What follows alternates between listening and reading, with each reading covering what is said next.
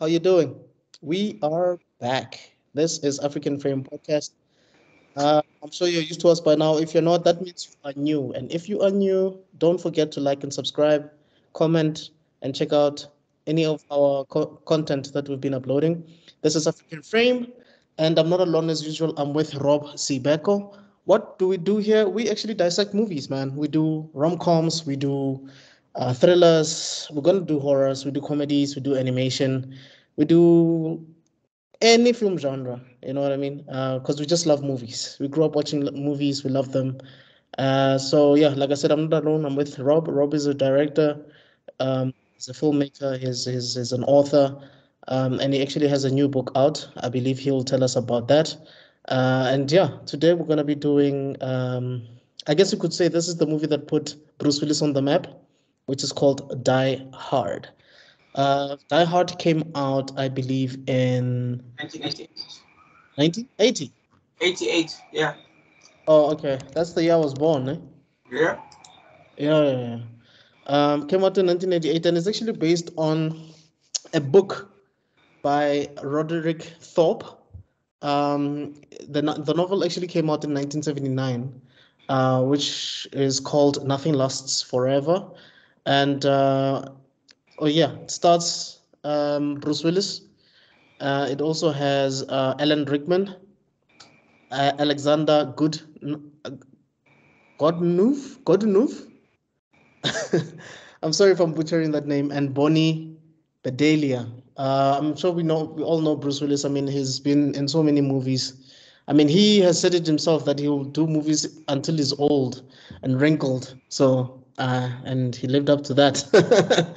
I mean, he's done movies such as The Sixth Sense. Um, he's done, um, sure, uh, Split. No, not Split. Uh, Glass, and the one before Glass. I think it's Unbreakable. Unbreakable, yes.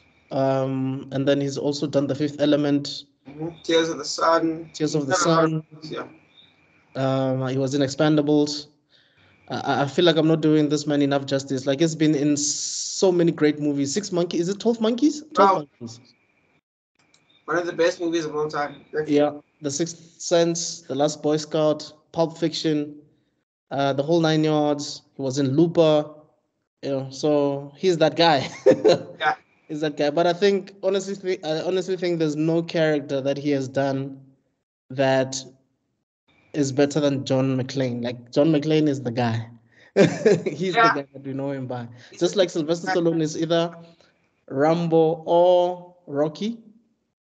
But I think the the name that comes through first is Rambo, right? I would say in terms of relatability, if you want maybe the first Rambo, maybe.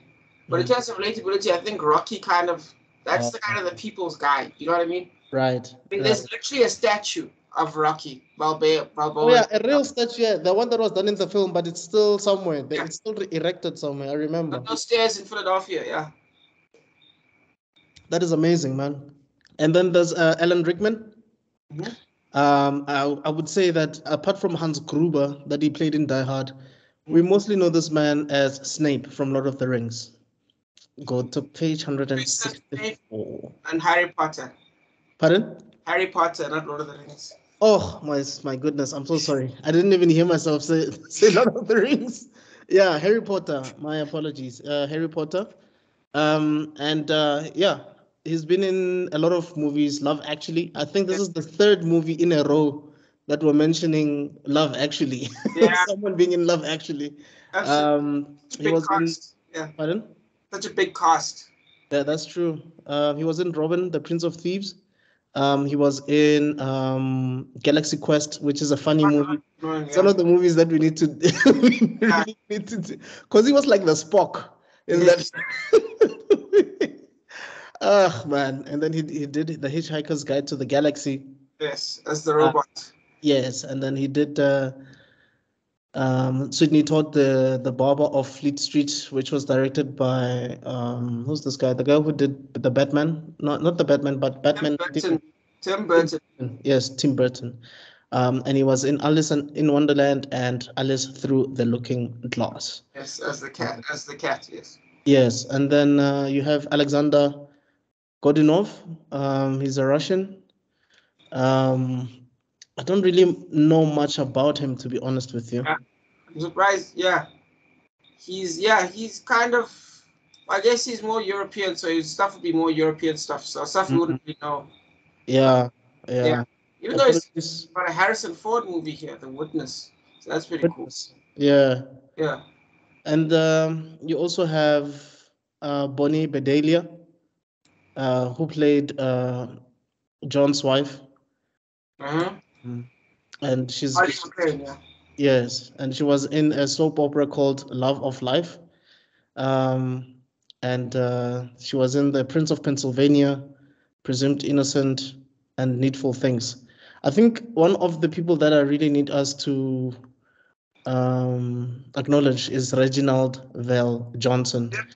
Uh, he was in Family Matters as Carl Win- Winslow. I think that's his probably his breakout role. That's his biggest role, definitely. Yeah, and the fact that he's dressed like Carl Winslow in here. Yep, it fits so nicely. yeah. You could be like it's canon. It's all in the same thing. Yeah, uh, the last time I actually saw him in anything was in uh, Station 19, which is a series that's basically related to um, Grey's Anatomy. So it's within the Shonda Rhimes universe, basically. Yeah, man, and uh, I think he also does a vo- do- he, he provides a voice-over role in uh, Invincible. Oh, it's Invincible, yes. Yes, because there's a school named after him, eh? and he's actually the principal of the school in the animation. So yeah, I guess um, uh, the the the right the creator, he's the guy who created uh, what's this? The Walking Dead. He he really likes this guy because the fact that he mentioned his real name and surname in his Yeah. story means that he likes this guy. Yeah. But he's a legend, man. He's a legend. If anything, is underrated. There's almost too little of him out there. One hundred percent. Like he should be one of the A-listers, to be honest. I don't know why he's not. Yeah, I think something happened to him in the past. Uh, uh, something kind of like how John McTiernan had something happen to him with the whole going to jail thing. I think he also went to jail. I'm not sure. I think Mhm. something happened. But That's I why there's think- like a gap in his. I think uh, I could I stand to be corrected, but I think usually shows that that air on UPN. I don't know if Family Matters aired on UPN, but usually shows that air on UPN are not as that like, like the actors that are not as famous as they should be. Like Jaleel White is supposed to be an A-lister. You know what I mean? yeah, of course. So I'm it just sure feels like the black people Yeah, we love them. But they're not like a they're not people that would be sitting on the front row. They're not like Denzel Washington. And they should be. Or Viola Davis. And they should be. You know. But anyway, I guess those are politics that we'll never fully comprehend or understand. Um, but yeah, that is basically the cost of Die Hard. yeah. Yeah. At least the main cost, put it like that. Yeah, let's let's just put it like that. That's the main cast because I don't know who the journalist is. Like I don't know his real name. I don't know who. Okay. The, Okay, wait, wait. Let me get that for you. It it's got it written here. oh, all right. It's Thorpe is um William Atherton. Yeah, Oh. Atherton, and you've seen him a few things. Mm. Um, one of the home uh, straight. Um, I'm sure you've seen him in a few things, definitely. I probably have. It's just that you know, I guess. He's in the TV show Castle. Um, Okay. he was there. We go, Ghostbusters. He's the guy that tries to shut them down in Ghostbusters. Remember the famous line? Um, this man has no. He's. You're right. This man has no penis. Remember that? They're like, he keeps calling me dickless. We, need to do, we need to do a Ghostbusters yes. thing. Like I would say the the first two, we need to do. Yes, those are the ones worth doing, definitely. Yeah. Um. Yeah, I think we can we can get started. Yeah. man. I don't know if there's anything else you want me to Yeah, mention.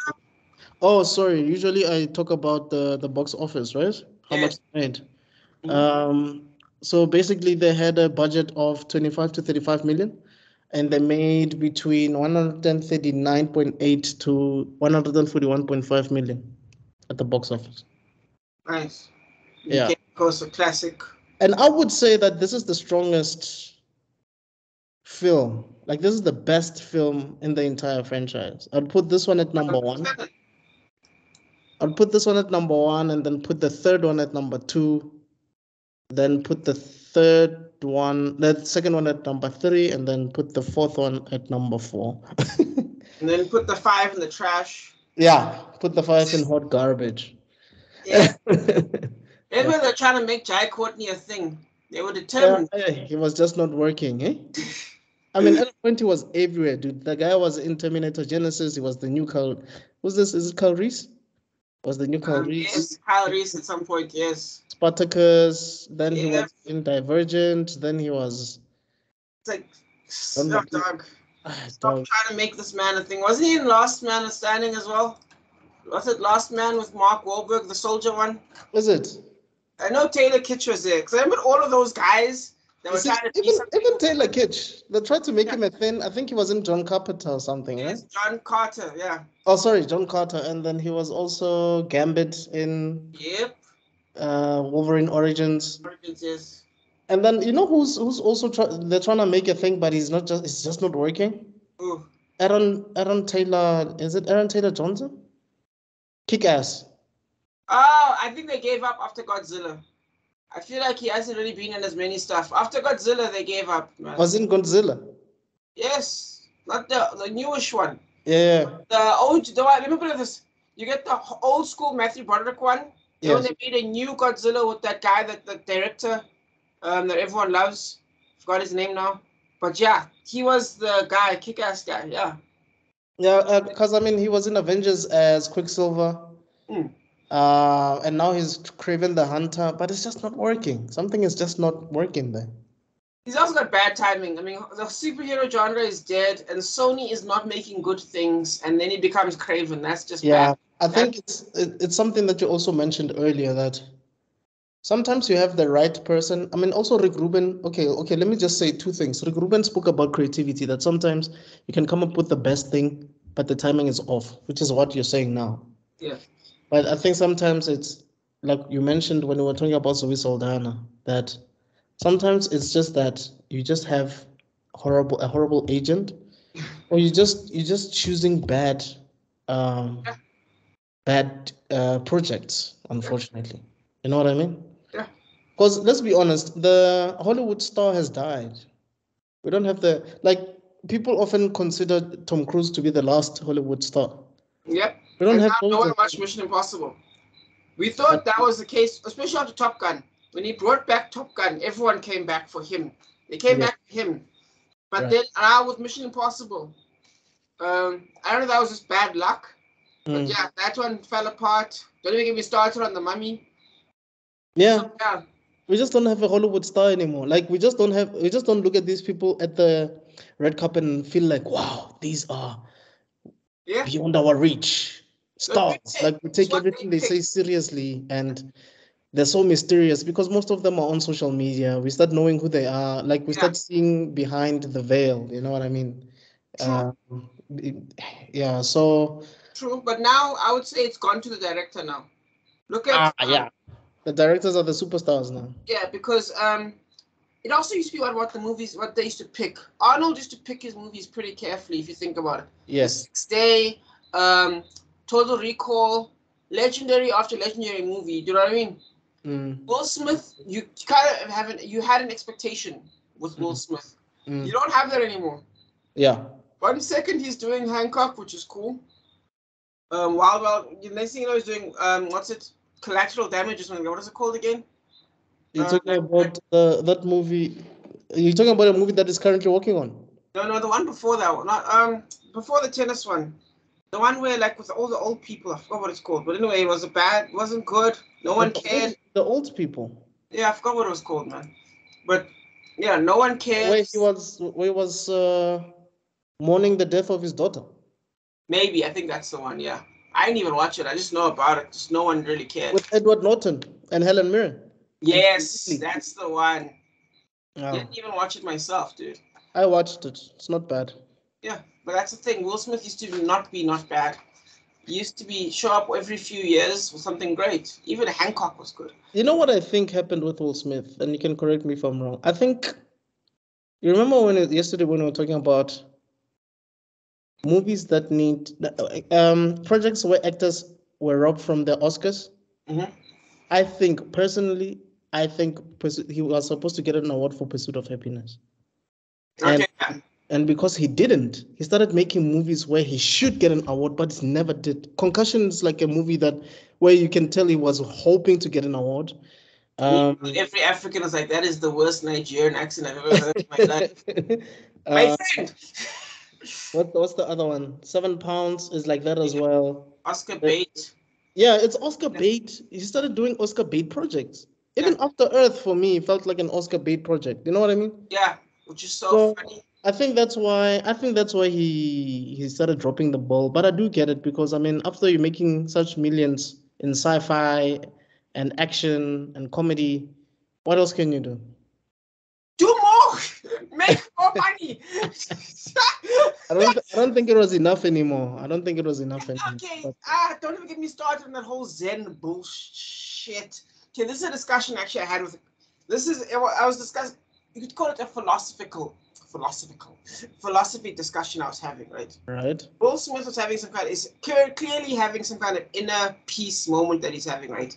And is Okay. producing movies that aren't exactly making all of us proud. Do you know what I mean? Right. Whereas before, when he was saying he was going through an emotional turmoil of trying to live up to some invisible standard, right? He was Right. making some of the best movies we've ever seen. Yes. He was out here making all of us proud, right? Right. You know what I mean? He was Because he was being Will Smith, the Will Smith Yeah. that we like. Yeah, yeah. exactly. And don't forget something. What? Maybe there's what ten great black actors out there right Mm. now. in Hollywood. Well, no, there's almost zero right now in Hollywood. You know what I mean? It's all these smaller roles that. Remember, I'm not saying there aren't any good actors, Mm. but genuinely great. Mm. And by great is an objective standard. Like Right. Eminem, you don't have to like Eminem, but you have to admit that he's great. Right. You know what I mean? Right. You, you have to admit that. You don't have to admit that. Um, insert black actor from 2023 here. You don't have to admit that he's great. Not Right. Um, let me give you an example. I love um, what's his face, Kang the Conqueror. I love that. Yes, uh, I wanted to get there that you can tell that there's a li- there's a certain I could say like 10 actors that maybe were supposed to become the next big Yeah. stars. Black. Yeah. Um, I'm talking about Jay Ellis. Jay Ellis was in um the movie that you're talking about now with Tom Cruise, Top Gun. He was Yeah. there. He was in Insecure. And then speaking of Insecure, you have uh Issa Rae, Mhm. right? And then you have uh Childish Gambino or Donald Glover. Oh, yes, yes. And then you have the guy, the two other guys from Atlanta. I forgot their names, man. Uh, but those two, Big Boy and what's what they I call think him? it's Lake Lake Stanfield, and I forgot the other guy, man. And Oh, like, the guy from Get Out. no, no, the guy from Bullet Train. Oh, yes, yes, yes. He was also in right. Eternal. They call him Big Boy, isn't that in the movie? Yeah, Big Boy, but his real name, yes, that Oh, guy. yes. And then you're right, Daniel Kaluuya is also one of them. Get Out and and stuff You like that. played L, even though it was a weird version of L. These people are doing these things, but I don't have to admit they're great. I can say they're bad. Look at their numbers, and, and people have to agree with me. Do you know what I mean?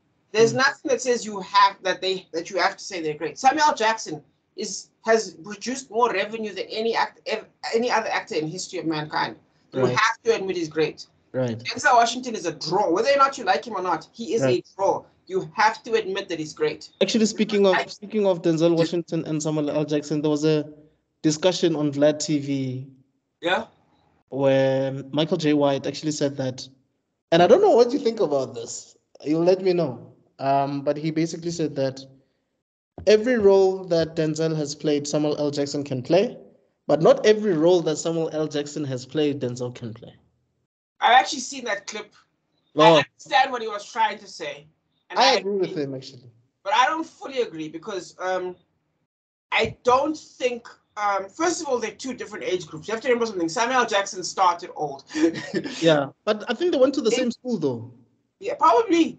Yeah, because if, if you listen to Samuel L. Jackson speak mostly, they were around the same time. They were around the same school, around the same time, in a Mm. way.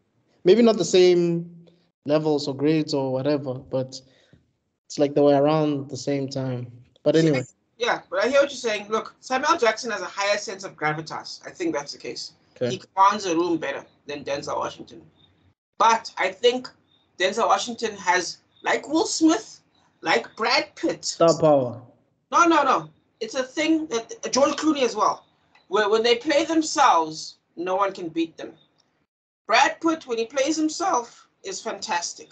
Don't get me wrong. Sometimes he challenges himself and he plays like maybe like twelve. The role he plays, the crazy guy Twelve Monkeys. Then he challenges himself. He produces something great. Mm. But every other, but most of the time he's playing Brad Pitt, and it's fantastic. Right. Um, and it's indisputably great. When George Clooney plays George Clooney, Yeah. it's fantastic. I mean, which which role is has there. George Clooney played where we feel like he's not George Clooney? I don't even know, dude. Three kids, is George Clooney. Exactly. Um, I watched Exactly. Michael Clayton is George Clooney. I can't even think of one. Daniel Ocean, Bruce Yeah. Wayne. The only time it's either he's goofy or he's serious, but he's always Yeah. George Clooney. Yes. That makes sense. No, no, it does. It Like does. for It's like, it's like Antonio Banderas. Same thing. Antonio Banderas always plays Antonio Banderas. It's always himself. And what you do with it is what ruins the movie or makes it good. Yeah. I think when Antonio Banderas is cool. Like in Expendables 2 or 3, they try to make him look like Goofy or something like that. And it came off as kind of lame. I kind But of see, I that's the thing. When they don't take the project that they're working on seriously, Mhm. that's what happens. Because funny enough, when he was in SpongeBob, Yeah. he killed it, dog. because it's Antonio Banderas, yes. he murked it, dog. I was like, yo, whoever's directing SpongeBob, this SpongeBob movie is a freaking genius. Like, the best out of him. Yeah. like I hate SpongeBob movies, but I love that movie just because of Antonio Banderas. Though I was like, ah, no, he killed it. but I guess it's like it's also the same thing with.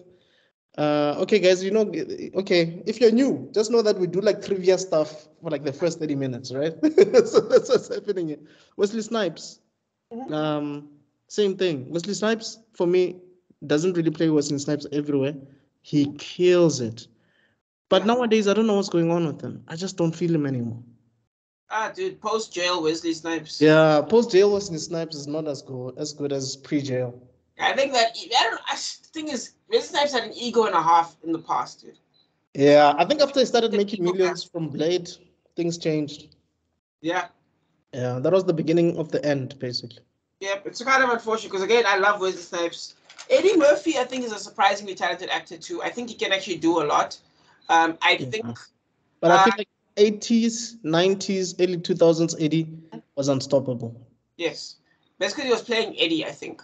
Then I think he tried to do other things, and Yeah. that kind of took away from it. Like remember that weird one where he wasn't allowed to speak?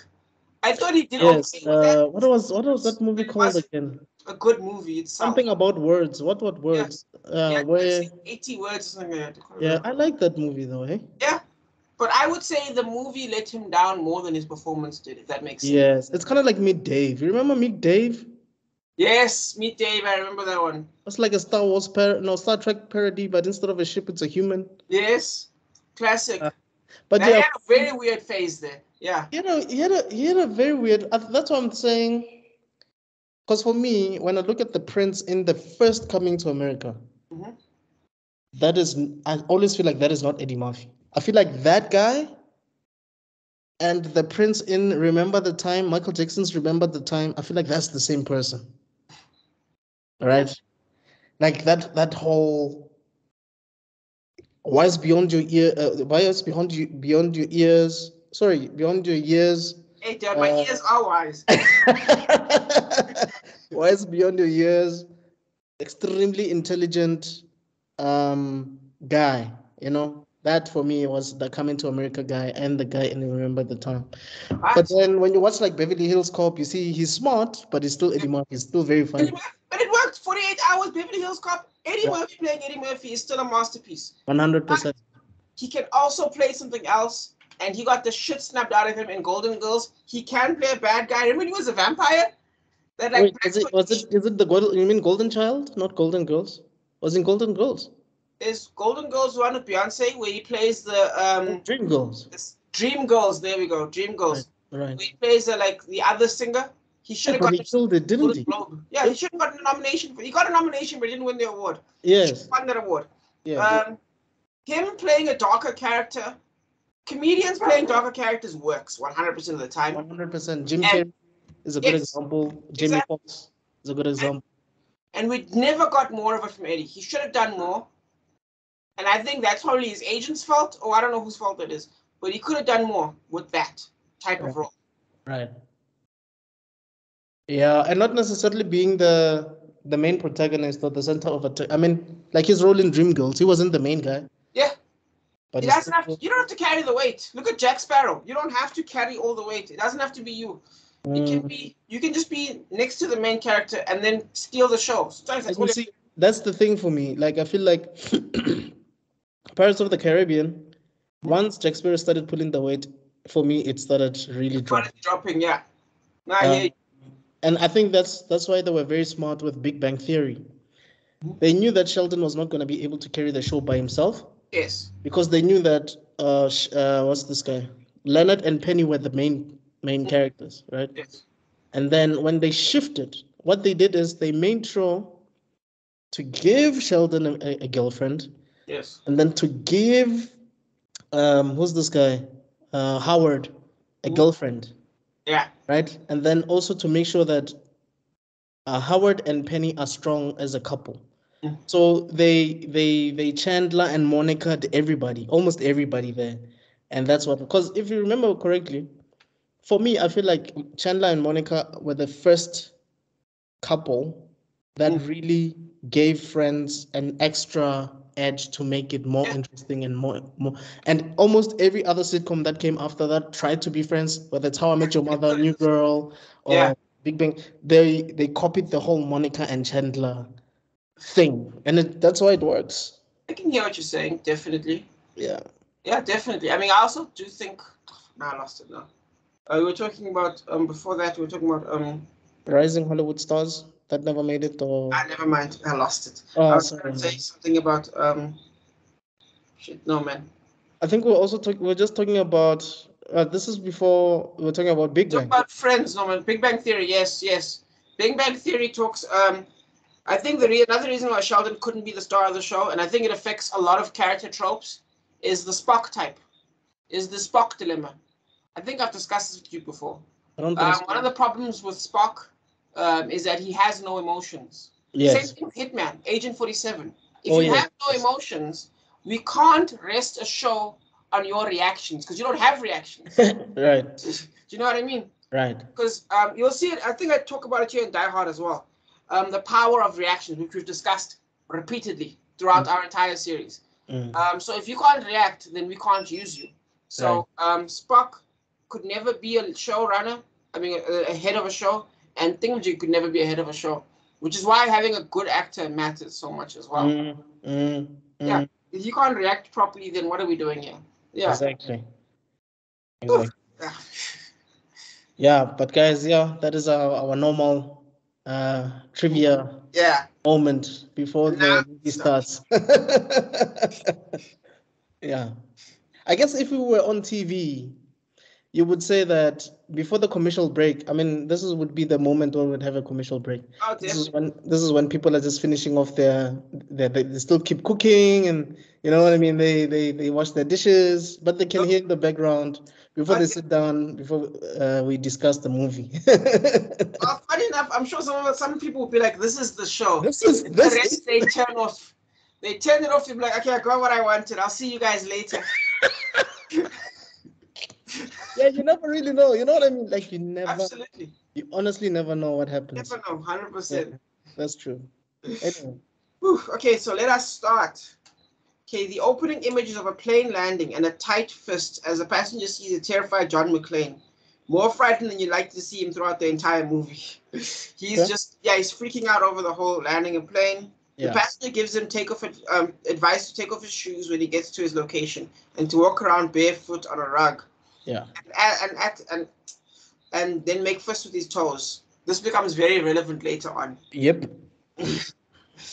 Um, So there's a scene there where once the plane lands, uh, he takes out his luggage and then he's looking at this lady, and the lady's looking back at him. And I was like, what's the significance of this? ah, I- I did research on the book. Apparently, he had a um, like he started having a, I guess the not really pen pals, but over the phone, uh, relationship with a stewardess from the Okay. plane. So I guess that was like an homage to Oh, Right. okay, nice. I Like did not the- know that because like enough, that come, that doesn't it never really comes into play, but he does look at girls a lot. There's a, a naked picture. Yes, we'll get there. we'll get there. Yeah. But I like to think because remember he talks yeah, I feel like it gives you a clue about his marriage as well. But yes. Mm, Uh, the scene then cuts to the office party at the Nakatomi pa- Tower, um, where the boss himself is, is talking. While the boss is talking, we see a lady walking away, looking at paperwork. While everyone else having fun, she's still doing work. right. Um, we discover that the she is Holly McClane and she's being hit by us by the sleazy Ellis. Um, she shuts that down and we see her talking to her kids. And we see family pho- photos on the table reinforcing the picture of their marriage. Yes. And but she's referring to herself as Holly uh, Gennaro. yes, Yes. yeah, that's the first time it's mentioned, you're right. And um, there's a little nice little clue there. Basically, what's happening here is they're setting up all the chess pieces. Right. You don't know they're setting up all the chess pieces, but they are. All Right. of this will become relevant later on. Just so funny because it's like a dumb action movie. But yeah, um, there's very little time to set things up before the action, but the director is doing everything he can to paint two types of characters out here, stacking them up as high as possible. Hmm. Here's a point, here's a point, here's a point, here's a point. Mm, Um, an image of the marriage is being drawn at least three times. Um, John goes from the landing to driving to him getting there. This process takes nine minutes. yeah. Just pa pa pa, we're here. Right. This is the type Uh, of fun, yeah. hmm That's, that's why he actually starts meet, meeting the limo driver. Yeah, Argon, yeah, Argyle, yeah. Argyle is one nosy dude. Like, but I guess you could tell he's very young. He's still young. You know what I mean? It's his first time driving a limo, a limo, so he doesn't even know the etiquette of treating clients and stuff. Because he used to be a cab driver, so he has no idea how to now, um, I guess, yeah, present himself as a as a limo driver. Doesn't know what to do. It's kind of funny now that you went up over that thing, right? But the, the, that this is based on a book, and you see the writing credits. Um, Thorp is on there as a writing credit. I Mm, feel like this is book writing. I wouldn't be surprised if this is a book writing element, because sometimes a lot of movie makers will abandon this kind of um, um, use of um, retelling ideas. You know mhm, what I mean? Mhm. Um, of you know of callbacks, um, where something is relevant to this, relevant to this, relevant to that. Mm, feel like a lot of book writers will do that. A lot of movie writers will like will like key point, key point, key point, key point, because not enough time. And I Oh, feel like I wouldn't be surprised if maybe they worked together in order to, and then Thorp worked hard to make sure that there was enough time. was a You know I mean? consultant. Mm, Yeah. Like he really had a part to play in this. I wouldn't be surprised. But McTiernan is a very cool guy. PS guys directed by John McTiernan, same guy who did Basic. Um, Right. cool, cool. Uh, Um, what do you mean by directed? Basic? He's the one that directed Basic. Yes. Oh, okay. The guy who went to jail. Yeah. Oh, Basic, Predator, Die Hard. actually, that's the one that we didn't mention. We didn't mention the director. So Hmm? there you go, guys. That's the director. Yep, you can hear his name more than once. Um, this type of front loading is done on TV shows by doing something very much like saving the cat, Mhm. which is where the expression comes from. You know the expression "save the cat." Yes. Um, the save the cat being the idea that you start a story off with with an action that shows why you should be rooting for the character. You Right. know, something positive that gets you behind them. Um, in this in this case, saving the cat is quite literally something different, because what happens here is they set up the um, they set up instead um, the marriage and they set up the assignment that John is that John's assignment, which is to kind of fix the marriage in a way. Yes. It's with the cab conversation. Yes. Um, uh, and don't know what basically, that's like she called him to come, right? She said she must come. He must come. She invited him, yes. Yes. Um, she was even worried he might not come, but he does come. Um, so yeah, we know the mission. He's got to get the wife back. Yes. Um, you know what I mean? yes. Before and Argyle stays, which is another chess piece in case things go wrong. Right. Yeah. Um, and then yeah, so he's now going to the building with his mission set. Now we know his mission. We're following now. Right. Um, cool, cool. John's mission is to save the marriage. He's fly. He's flown to California despite being afraid of flying. His wife still wants to be with him, rejecting others and following up on him, but is mad with him, which is why she slams the photo down. Another chess piece.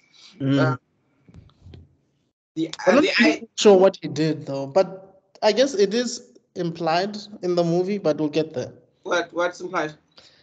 That um, he was not happy with the fact that she got this job.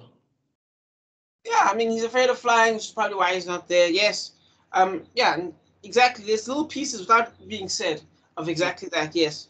One step into the building and there's already an obstacle that ends up, that ends up working showing up later. His wife is not marked under his name, it's her maiden name, which lets you know the trouble he's in, and Yeah. that upsets him. Right. Um, we we get a couple of scenes of him walking um, and the limo parking, setting up chair, more chess pieces. Um, we enter the party and John is a fish out of water. It is a wholly different world. Yeah. Yeah. Um, John, like the guy kisses Someone him, he's like- like, what the hell is going on? Like, It's too corporate for someone like John, man. Someone Uh-huh. comes in, kisses him, is like, "What Yeah. the hell, Can- California? What's going on?" yeah, he's just like, what California stuff is this? Yeah. Um, yeah, John is meeting the big boss. We meet Ellis too, who is doing a line of coke, just to show how much of a problem it is in the storyline. Like, Right. damn. I Um, really like the boss though. Hey, what's his name again? Ta- ooh, Ellis, no, not Ellis. Ellis's boss. Um, Doctor, uh, Mr. Tucker. I keep calling him Tucker. Um, Is it Ta- Takayami? it is Takagi. Who? Takagi. Takagi. Takagi. Yeah, the real actor's name is James Shigeta, Oh, okay. All right. and I'm sure you've seen him a few times actually. I would Oh, say he's more Oh, famous. Takaki. Takaki. Yes. Yes. He's Mulan. He's in. He's the General Li from Mulan. Oh. Okay. Yeah, Loved him, man. Is you can tell this man like you can tell that he is a veteran actor of no, Yeah, because the way he was acting, he was just on another level, man. Yeah. Yeah. and he's also the old wanderer in Avatar: The Last Airbender. Mm, he's a Oh, voice actor there. Oh, okay. I didn't see that coming. Hey, man. Yeah, it's weird when you do research on these people, you realize that there's a lot that you don't know about them.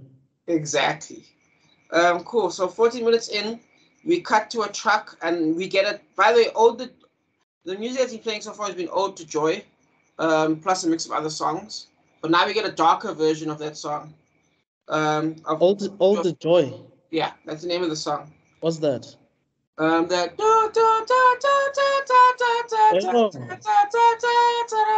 Yeah. Yeah.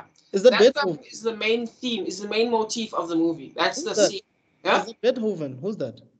Um, it's not. It's. I'm. I'm seventy percent sure it's not Beethoven. Is it Uh, Mozart? No, But I know it's not. Um. Is it not Mozart? Uh, I know it is Beethoven. My bad. It is Beethoven. Yeah. All right. Yeah. Yeah, Ludwig van Beethoven. Yeah. Anyway, yeah. So that you'll notice that song is. If you pay attention, that song's playing throughout the entire movie. Oh, really? It's our theme music. I didn't pay attention to that. That's why this whenever people say it's not a Christmas movie, I'm like, what are you talking about, dude? They're playing first of all, it's set in Christmas. The theme music is basically joyous celebration Christmas music. What are you talking about? Do you know what I mean? How is it not Christmas? Like right. it actually matters that it's Christmas. It's not. It just doesn't have the typical, well, the stereotypical themes in a Christmas course. movie. Family coming together, guy gets together with his wife. How many Hallmark movies have you seen like that?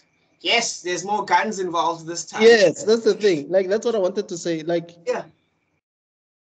it's a Christmas movie masquerading as an action Yeah, blockbuster movie. I guess exactly. that makes If- sense.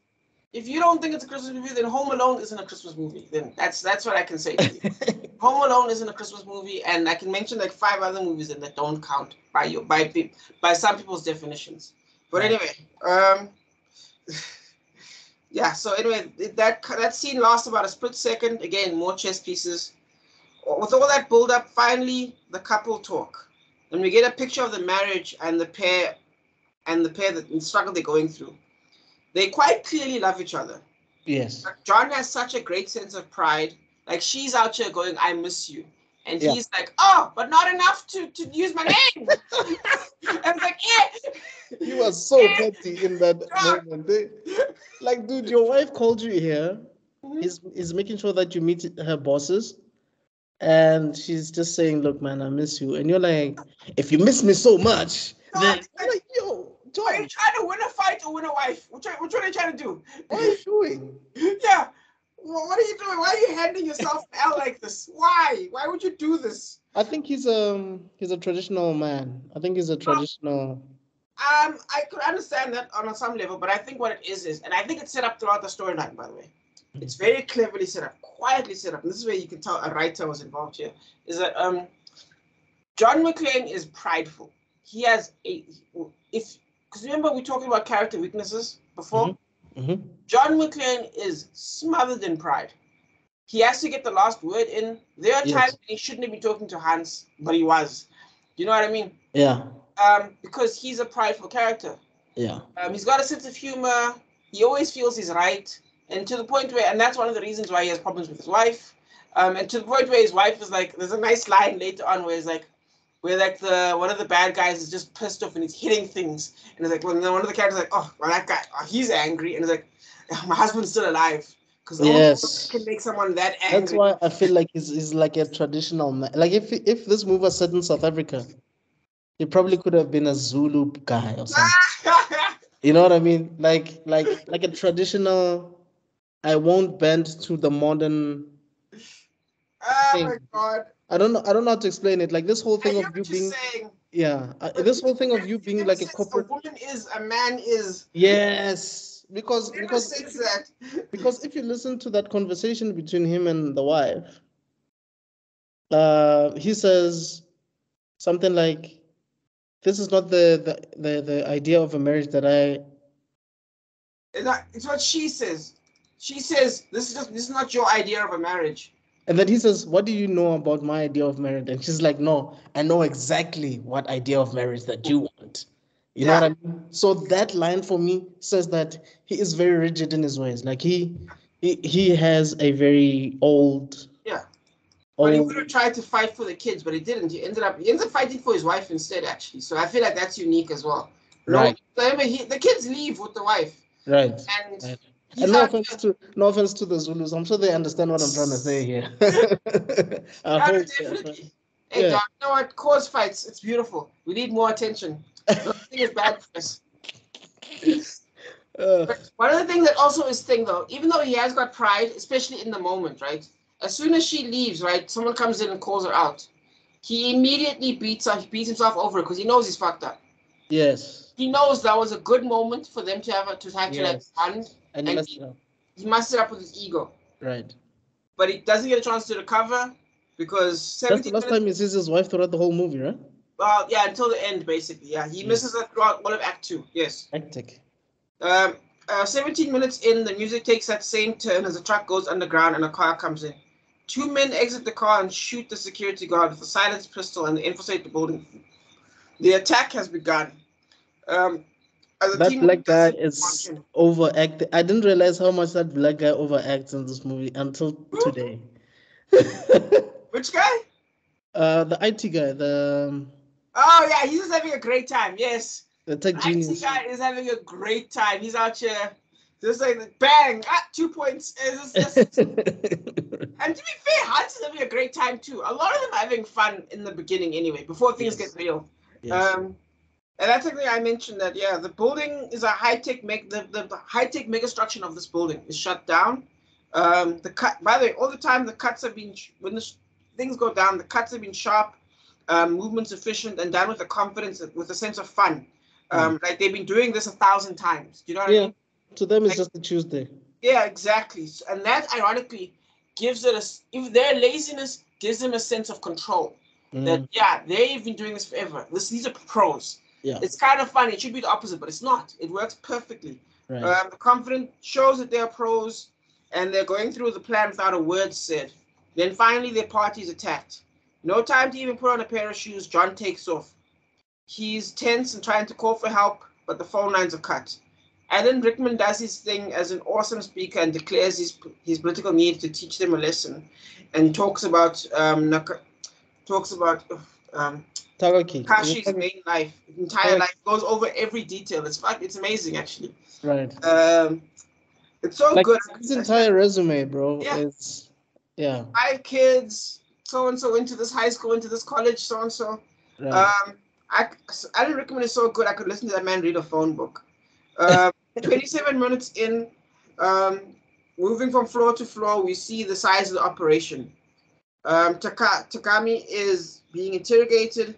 At first, we think it's about terrorism from based on the earlier speech, but it turns out to be about a 640 million dollar in bonds. yes. Um, um, he's not helpful, so he gets killed. Um, John exposes himself while getting while shocked about the whole thing and has to get away. Mhm. Um, 34 minutes in, we're presented by our bad guy's mission, the big safe. Just this massive metal slab. It's pretty cool. Um, John comes up with a plan. He sets up a fire alarm, but the bad guys manage to call a false alarm. But now they know his whereabouts, so they come after. So someone comes after him. Right. Um, it's one of the two blonde brothers, which they set up very nicely without actually having to say anything. Like Mhm. when Thingamajiggy's cutting the cables, the other guy's trying to cut Thingamajiggy. Yeah, he's trying to stop him from saying no. But here's the thing, though. Are those guys Dutch? Yeah, or German, something like that. Yeah, but I think they're Dutch because oh, you heard Afrikaans, didn't you? It sounds like Afrikaans, Afrikaans. Yeah. That's why I'm asking if it sounds if it's Dutch because it really sounds like Afrikaans. Hey, dog. I feel like Dutch and no, what's it, Norwegian and German are basically like Africa, are like are like um Zulu and Xhosa. Or Yeah. Or Pedi and Tswana, I think. Yeah, I'm with you on that one. Yeah, I think it's kind of like that. Yeah. Um, but yeah, I like that whole setup because again, they set up with that whole with that little stunt that they were doing where you have to cut the cables quickly while thinking again. You can tell, okay, these guys have a special bond with each other. Yes. All yes. without saying words. Anyway, um, um, do- do- do- do- do, set up the fire alarm. Okay, cool. Comes after him, and it becomes it becomes a game of cat and mouse, right? Mhm. Um, cool. Now it's John, a New York cop versus a terrorist. This is an opportunity for a well-designed fight, right? Right. Um, but they do not go that way. Why? Because it's an 80s movie. And here's the funny thing about 80s movies. Outside of martial arts movies, um, I would argue the fights then have not reached the level that of fights now. Um, Mhm. it's it's basically like watching Godzilla, um, because they're all strong, they all tussle each other like ah ah eh, Yeah. punch, ah ah ah. eh. Do you know what I mean? Is Right. basically, and then they wind up a fist from like from the shoelace level, and they send it over to the guy's head, and he's like pa, and then and then he Yes. falls over something. It's almost a bit. Um, It's literally Godzilla. Like if you watch an old school Godzilla fight, it's Godzilla. it's as if there's no fight choreography as Yeah, whatsoever. exactly.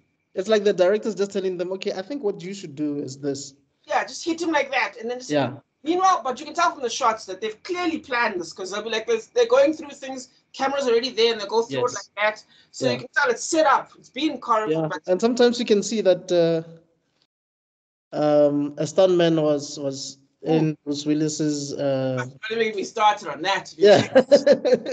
Yes. It's Yeah. like those old school Jackie Chan movies. Whenever there was like a white guy involved in the movie, especially Who Am I? Oh Yeah. my God, there's a perfect example there. Of the final kick, when the Yeah. bad guy gets kicked, right? He's like an old white man, right, with like slick hair. Yeah. Then suddenly his hair is long and black. He's 100% Asian. He's about a foot shorter. He gets kicked. And then suddenly the white guy, old white man, lands on the floor. It's like, oh, oh I've been hit. yeah. That's yeah. the level of stunt work and action in the 80s. But yeah.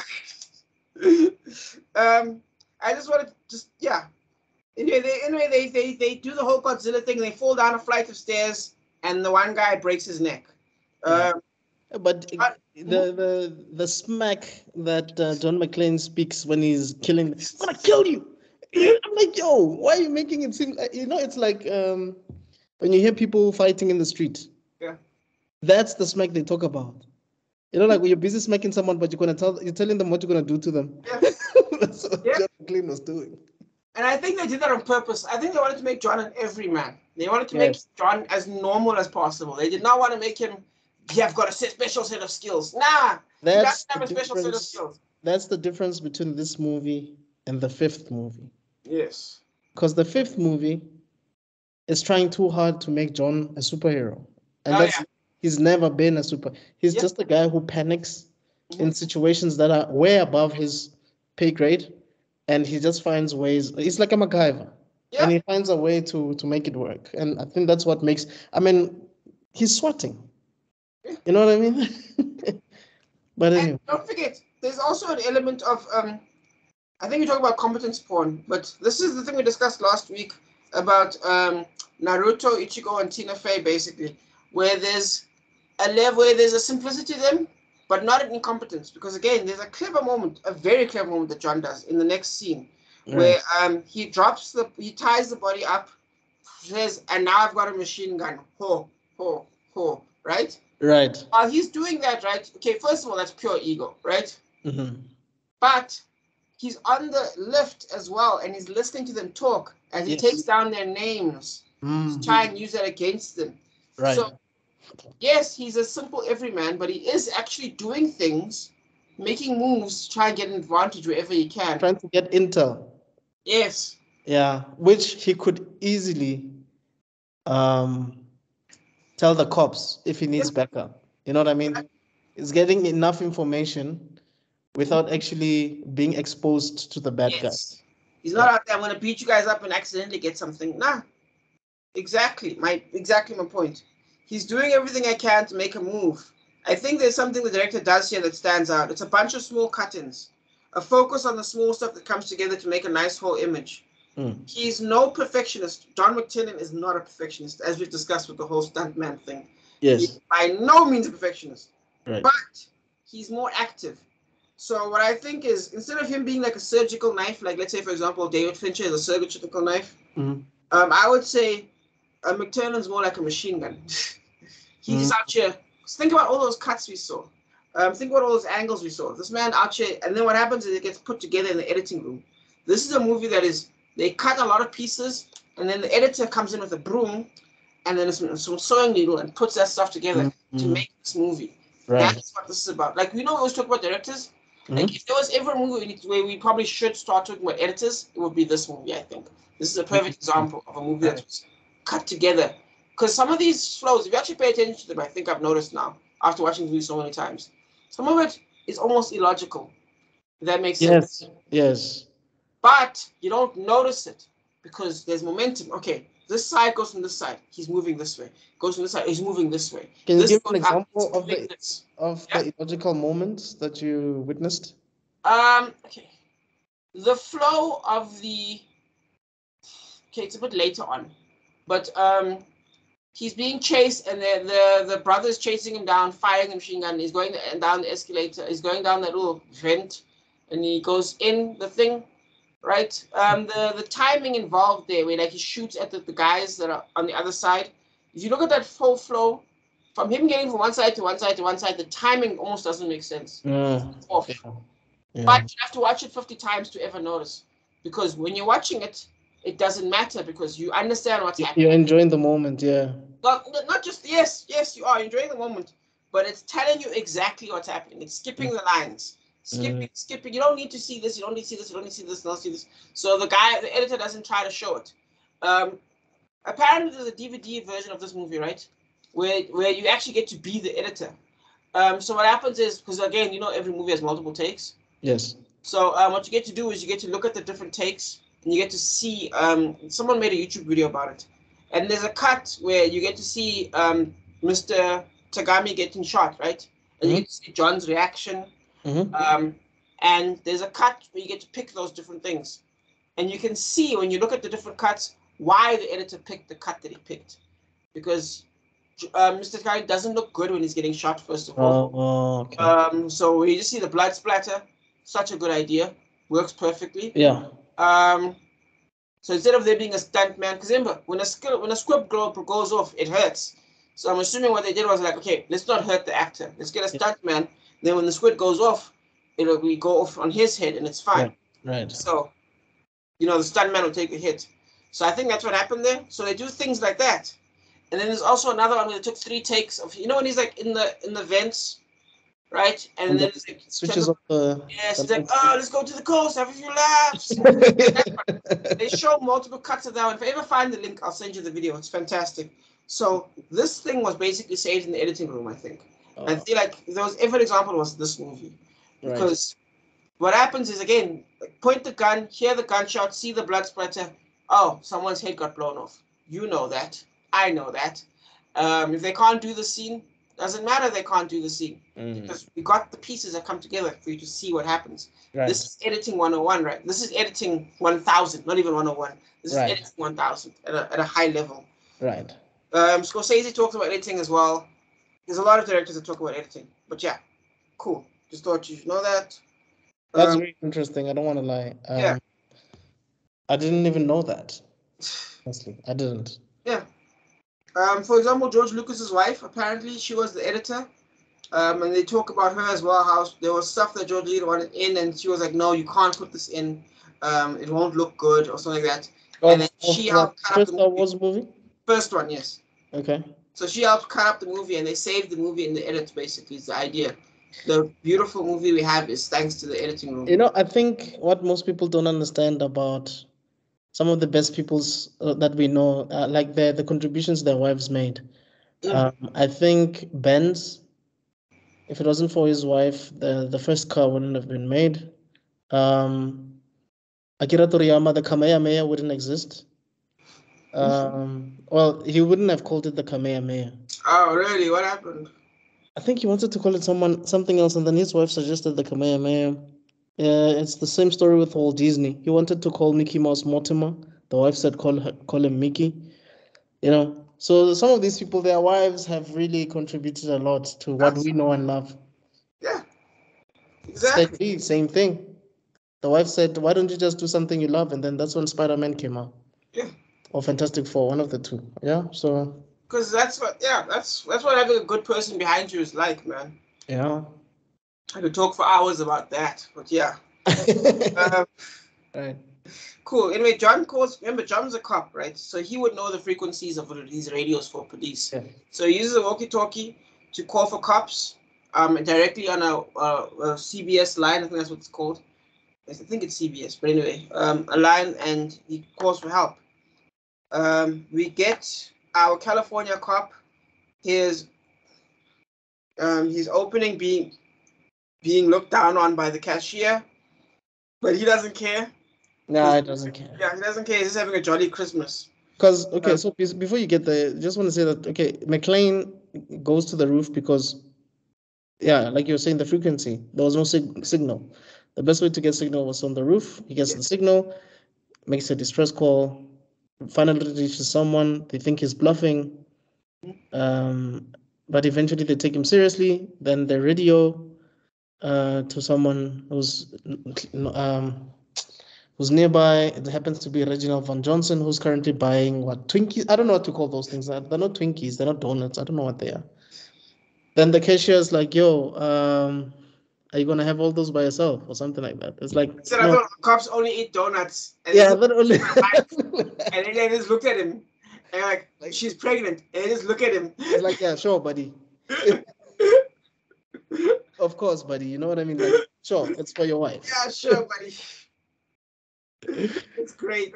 Yeah, and uh, he doesn't care. Gets out, gets this the the call, heads out, and then yeah, we realize that it's It's actually the not- yeah. There's a nice little moment here where he's looking at the building, and Mm. from a distance, it all seems well. Meanwhile, at that exact second, there's a massive gunfight, dude. and John's running for his life. Yes, Um, again, like I said, a lot of this movie is made from the editing room. There's lots of, there's many angles, many, many cuts, um, and all of them stick together to make a solid set of momentum. right. John's being chased uh, into a hole and he's stuck. This is perfect for the bad guys who have to deal with the cops who are coming. But with the brother storyline um, that comes into play as as orders are dis- disobeyed by the emotions of the story. So now the brother's still coming after him. Um, John is trapped but manages to escape by luck as Sir Sergeant Powell appears. Um, now, what's clever is that they have already shut down one warning attempt. And now it looks like a second warning attempt is about to fail. All the while, another attempt to get attention has led to John, John, John sacrificing his position. Every time he calls for help, he sacrifices his position. He ends up Yes. losing out. Yes. Which turns out which is relevant because it tells something about who he is. You know what I mean? He'd rather help than um yeah. He survives which tells what? about who he is. Kind of like um that he'd rather he's self-sacrificial. He wants to help people. He genuinely wants to help people, even Yeah. if it's yeah, it's a character moment for him. Cool. And every single time he does, he gets punished for it. Because sometimes what happens is these movies, especially modern movies, my God, they're like, to have a moment where it's like, oh, I'm going to sacrifice myself. And then it's like, oh, no, it's fine, dude. You're, fine. You're, you're fine. Turns out you weren't sacrificing much of anything. So this nice moment where, Right. yes, it turns out, no, he was actually sacrificing a bit of himself there. And he nearly dies, but he survives. Mm. Um, and Paul is about to bounce when the corpse of the ones trying to kill him lands in the car and everyone opens fire. Like, It's chaos. And G- and Reginald is like, Jesus H Christ. Yeah. I think we're skipping a part where I just wanted to talk. So Reginald goes to the, the building. Mhm. Uh, he meets one of the goons, thinking that one of the goons is actually the receptionist. Uh, he's like, "Yo, okay." Like he sees like everything is fine. There's nothing wrong. The person is chilled. Says, "Let me just go search the area." He searches a bit, and just before he gets a bit further, where he could have landed, where he could have gotten killed because someone was actually. He's like, ah, you know what, enough of this, I'm fine. Gets out, um, takes his walkie-talkie and uh, tells them that, look, it was just a, what's this? Maybe it was a prank call or something. Yeah, it was a prank. They were under the impression it was a prank. Yes. Never believed. Yeah. As he was leaving, John is like, okay, clearly the chair that I was trying to sh- throw out is not gonna work. Yes. Throws a whole dead body on his car, Yeah. lands on his Yeah. car. Exactly. You get one of the most classic lines of all time. Welcome to the party, pal. Yeah. right. right. And uh, he reverses. You know, I think what I like about this movie is, and I think you and I have spoken this about this before. There's certain action sequences that happen that are not hand-to-hand combat, but it's still action nonetheless. Oh yes. Because Reginald actually reversing, Mhm. that was something else. eh? Like he could have died for the most Oh, part definitely. but um, he didn't. And even how the, the car landed, you know, on its back like that, Yeah. he could have had a, he could have died, but he didn't. Falling apart right there. That's his action throughout the movie. How him just trying to deal with the captain is already his own action story right there. One hundred. Um, Cool. So we see we cut to a guy talking on the radio when he hears a police dispatch, and we get a nice little focus transition. Um, it's a nice, yeah, it's nice to see.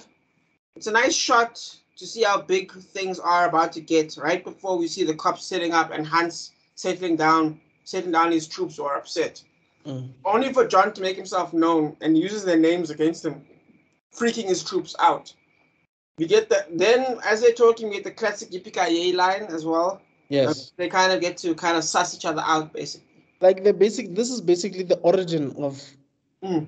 Like that's how we started getting. Why Yes. it says yippee because it's like oh you think you're a cowboy you think you're like this uh, John Wayne. John Wayne or something. Yeah. He says, I'm more into Roy Rogers and like that. Yeah. exactly. yes. Cool. Um, one, now we're at the one hour mark. Um, in cuts the news broadcaster, news broadcaster as he's warning everyone about, about this big story and its opportunity. You Mm. can tell this guy is ambitious, egotistic, Mm. sleazy. He's trying to prove a point. He's like a male version of Lois Lane, basically. Yeah, yeah. Um, the, the, the dynamic has changed. The cops are here, and we've t- and they're taking over the perimeter. It's all been it's all been before. All that's been before was fun and games with the whole cat and mouse stuff. Right. Now we're at the midpoint, and whereas before we've talked about midpoint lows, Mhm. this is a midpoint high. How so? Huh? How so? Um, because we think everything's because it's a everything's gonna be fine. We can now relax. The big boys are here. Daddy's home. Right. The cops are here. Um, yeah, uh, everything's been fine. Daddy's home, and al- and alarmingly, John's wife suddenly appears into the scene and turns out to be the most senior position person in the room now that um, Taga, Taga is dead. Yes. Um, and she leads our situation. This is a nice moment to show why the pair are in love, in my opinion. 'cause they're Mm. strong. Percent. Yeah. Because she's a very strong character. Yeah. She's Yeah. headstrong. She's got ego, man. There's Yeah. a person with a gun to your face and you're still talking smack. Dude. I don't want to be here. Are, are you crazy? Yeah. But yeah, we were I don't want reminded. because because he's like he's like who put you in charge? You And did. she's like you after you killed our boss Takagi. Yeah. Like oh okay so what are your demands? Look the the guys need uh I I have a pregnant woman. Mhm. So we need to put her in another room, in another floor that has a sofa so that she can obviously be more comfortable Yeah. for her back. He's like, okay, no, I'll bring the sofa to you. That's fine. Yeah. It's like, okay, then you're gonna get a whole, a lot of, um, you're gonna get a mess on the floor if you don't allow people to get bathroom breaks. Yes. It's like, okay, cool. Then we'll make that happen. Anything else? Yeah. You know, Um, yeah, exactly. It's a nice moment. 100. Um, these these moments are more awesome because these moments come together to form a truly artistic vision, basically. Right. Um, whereas sometimes you'll focus on um, what's the director's name again? The one um, the one that did Blowout. What's his name again? Uh, Brian De Palma. Yeah, De Palma. Sometimes the visuals are um will be so beautiful they'll be almost distracting, especially sometimes in Blowout, like that Jesus one. That was unnecessary. Um, with the Jesus visual. You know what I'm talking about? Where he's like on the bed when that guy's like on the bed and he's like kind of looks like Oh, a cross image. Yes. Yes. Yeah, he's like the man's like a painting almost. Right. Like, okay, that's beautiful, but okay. Do you know what I mean? Right. Uh, De Palma, I mean, sorry, The opposite. There's, can you think of a single shot right now, like besides that one blur shot that I can think of? That's all I can think of, where you're like, wow, what a shot. No. Yeah, no, of course not. Yeah. He's he's he's so businesslike. He's t- here to tell you a story and give you a specific set of emotions. Hundred percent. He's he's like a mechanic. If he, if if, if um De Palma's a painter, he's a mechanic. Do you know what I mean? He just wants to get the job done. That's Yeah, it. making sure the story runs smooth. But you know, I to be honest, I I I would really shake the writer's hand because these are moments that other writers usually forget to include in their work. Normally, a movie like this would just purely focus on the action. Yeah. Right. But in this movie, you have moments where you need to think about the hostages and what they're going through. Include that in the story. How do you include that? Okay, who's in charge? It's John's wife. Okay, what would she say in this particular situation if she was in the same room with Hans? This is the situation. People need bathroom breaks. There's a pregnant lady. She needs to get a sofa. So that's the realism of it. If a pregnant woman is watching this movie and she heard that line, she would be like, yeah, she needs a sofa. You know what I'm saying? Because she feels like at least if I was in that situation, I would definitely need my back to rest. Yeah. And you know, so I think Aaron Sorkin would be proud of that. Those are the some of the Oh, he'd have turned it into a speech that's five pages long. but I hear what you're saying. Um, but I would also add that um, there's also um, it's not just that; it's about heart. Like for example, let's think about the Die Hard wannabes. White House down. yeah, This scene wouldn't have been here. Do you know what I mean? Like, oh, it wouldn't have made sense. skyscraper. Uh, skyscraper. Yeah, that's the one with, with the rock, right? Yeah. I was literally gonna say that one next. with buff man McRock pants out here being like, I lost my leg. Shut up. right. You know what I mean? right. Like the tension comes from the building burning down in skyscraper, right? Mhm. For us, the tension comes from us being like, oh shit. There's a moment where we realize, oh shit, we're in her room. We're in her office right now. Yes. And you see um the painting, the, the picture that got put down. hmm You see that being put down, and you realize, oh my god, it's that's the only reason John McClane is not dead right now. Right. That that painting is down Right. instead of up, and uh, all these things come together as opposed to Buff Man McRock pants. Um, do you know what I mean? buff man rock fans. Right. Dog, it just. This is why The Rock is struggling, man. There, all these little pieces coming together right here. Mm. Skyscraper didn't do any of this. Right. You know, there's something that I want to mention. Mhm. There's a part where Reginald VelJohnson meets the captain of the LAPD. Is it the LAPD? Yes, um, Deputy Chief, yeah. And uh, they're trying to figure out what's going on. Who are you talking to over the phone? He explains that he has a feeling that he's talking to a cop. It's like, what do you know? It's like it's a hunch. It's like, dude, what makes you think it's a it's it's it's it's it's a cop? It's it's probably it, it, it's uh, why? It's like oh because of the fake ID. He was able to see the fake IDs. It's like he could have been a bartender. Yeah. That I think was an inside joke because before Bruce Willis started acting, he was a bartender. Oh, I So I know that. that was deliberate or not. Okay, I like that. That was very smart. Yeah, I like that. That's a nice moment. Yeah. That's a nice. I like that. Definitely. But again, you see the difference between this and skyscraper, though. And it was I haven't. Well, funny enough, I haven't watched Skyscraper, man. Oh, okay. Well, don't worry. You missed nothing. Okay. What about White House Down? But much I could as see I by the poster. I could see by the poster of Skyscraper. I'm like, wow, this is Die Hard. Really? I bet it does, and it's not even as fun as like the Meg. See, like you know, there was that Ah. period where like you know these Chinese movies were trying to like get Hollywood actors to join in. Yes. That's basically what Skyscraper and the Meg were. Um, the only difference is the Meg was kind of having fun. Didn't take itself too seriously, Right. whereas Skyscraper tried to and it just didn't work out. It just wasn't. Yeah, Sheesh. Yeah. yeah. I feel like we should do a movie where we compare these two movies over. uh, us just find three Die Hard movie, three Die Hard clones, and then watch them, watch them together. yeah. Um, cool. Um, yeah, cool. It's it's a moment that Hans misses, and so far it lets us breathe a sigh of relief. Mm. It reminds us of the stakes. You know what I mean? Right. Things could go very wrong. Yes. Yeah. We get Thornburg, the report, reporting the situation, hmm um, and Argyle is still stuck in the limo. We're just getting all these pieces. They're reminding us all these chess pieces right now, all Right. lasting a split second. Um, the bad guys get their moment to flex their muscles now. Um, this last eight minutes, as the cops try to come in, um, and yeah, the bad guys shut that shit down aggressively, um, and they are taken down. By the way, yeah, John has been a passive character for these last eight minutes. He's just kind of been a passive. Yeah. I mean, what could he do though? You know, there was not much he could do at this point. Exactly. So now um, the the rescue that he was hoping for falls apart. So Mhm. that high point that we had, down. Because Uh, nobody's listening to what Al is saying. Because hey, I'm your superior. I know what I'm doing. Mhm. So Yep. Police. Yeah, it's it's interesting thing about police incompetence, um, because yeah, police incompetence, and then you get police competence.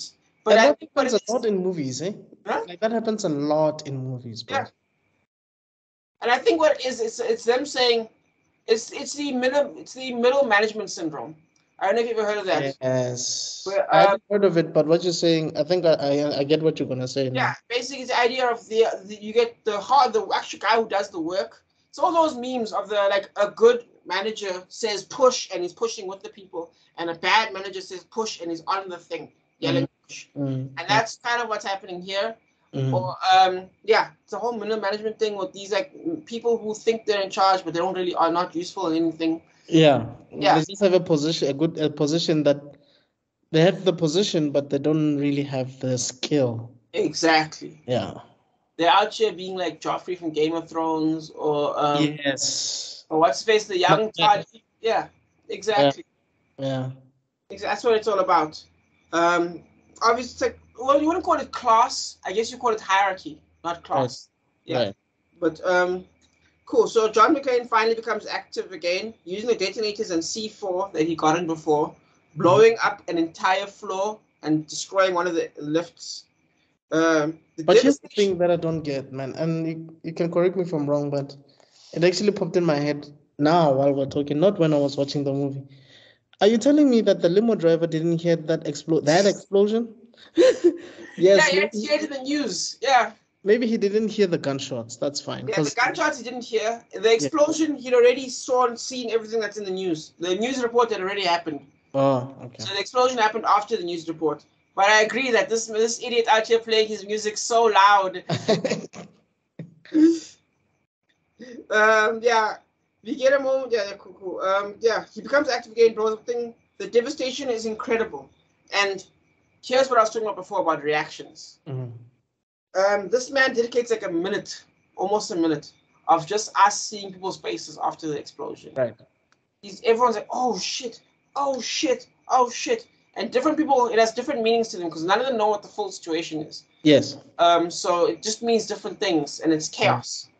because um, someone goes to Hans is like, I think the police are no, you idiot. It's not is. the police. It's him. Yes. yeah. Um, yeah, it's fantastic. I absolutely love it. Um, things are out of control. Um, what power was there is gone. Um, the bad guys have been put on pause in things, but John has because John has slowed them down. But the bad guys are still in control. This is very important to the flow of the story because um, um, there's been there's no there hasn't actually been a win on the good guys' side. The people people are dead. You know what I mean? Yes.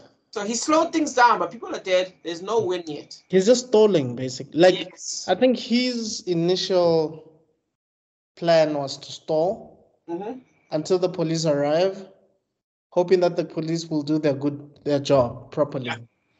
But he realizes as he keeps killing people, because from 12 to 7 people, he's slowly realizing that he needs to be the one that's taking them out. Yeah. Absolutely. I like to call it the Kang the Conqueror problem. With a lot of these TV shows, sometimes what happens is they'll when they there's a moment where they get like a small, uh, not a win, but like a positive moment, and then it's too positive a moment. Like with Kang the Conqueror, I don't know if you've seen Loki, the TV show. I have. It's fantastic, right? Masterpiece. Mm. Um, then of course you get Ant Man, which is nowhere close. Um, Mm. But, funny enough. Jonathan Majors is not the problem in Ant Man. yes, not at all. He's the best Yeah. part. Yeah. thing Loki is the best part. I think we should we should uh, do a review of, of that movie. But yeah, please Yeah. go. It'll be a it'll be a massacre. But anyway. right. uh, my point is, it's the Kang Conqueror problem is very closely tied to the Wolf problem, in that um, how are you going to set up something that's supposed to be big and bad when he keeps losing? Do you know what I mean? hmm Yeah, yeah. It's like, why are we afraid of this guy? Yeah. So even though John McClane has killed like what four bad guy, five bad guys at this point, including in the explosion, Mm. but um, still under pressure, still in danger, Yes. no momentum lost, no momentum won. Right. Do you know what I mean? Right.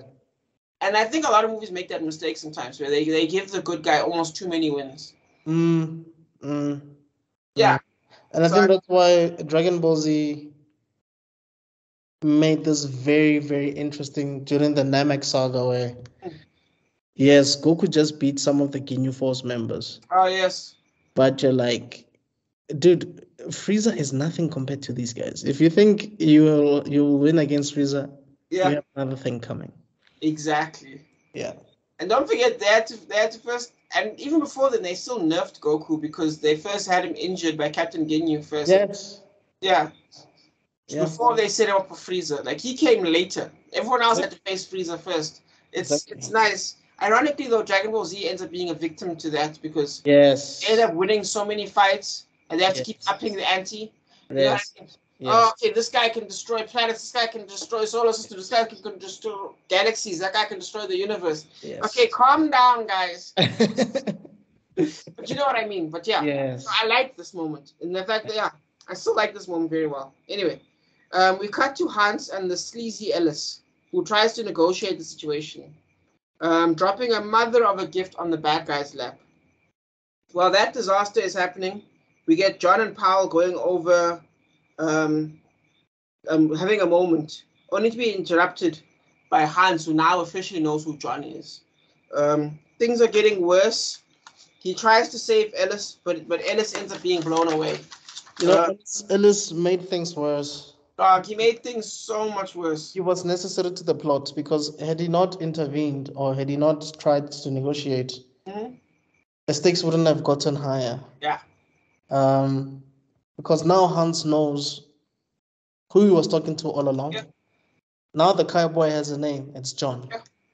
But Uh, again, chess piece. I agree it's plot relevant, but it's story accurate. A guy like Ellis, who even in front of the big boss can't shut up, would think he's better than a bunch of terrorists. Yes. Justified. It flows with the storyline. The fact that he, he was sniffing drugs and McClane saw him and then he didn't even panic Yep, tells you all you need to know about Ellis. exactly. Yeah. You know, when I was young, I couldn't tell the difference between Hans and Ellis because they, they both had beers. That's a hate crime. That's so racist. I was, I was a kid, man, but now I'm like, oh. I'm joking, man. But yeah, um, Hans sets up a little wild goose chase for the cops. saying, "Hey guys, I'll, you have to rescue, you have to liberate all these people." Just making up names, basically. Right. Um, but finally, the FBI, who Hans has been waiting for, arrive. Johnson and Johnson. Whether it's the vaccine or the baby powder, it's up to you. we have no idea. it's one of the two. yep. Um, Hans is going over his explosions when he's met by John and plays. Um, and then he immediately tries to play an American and gives off a great show of Ellen. Oh my God. Oh my God. Uh, you're one of them, aren't you? I You're one of them. You're one of them. You're gonna kill me. You're gonna Yes, kill me. One of them. I love it so much, dude. Like, calm down, calm down. I'm not gonna kill much. you. yep. Oh, but there's a scene I never noticed until now, actually. right. I, I'm so. This man is such a good director. He does things efficient, and I think again, De Palma would have done it more artistically, but he does it so efficiently.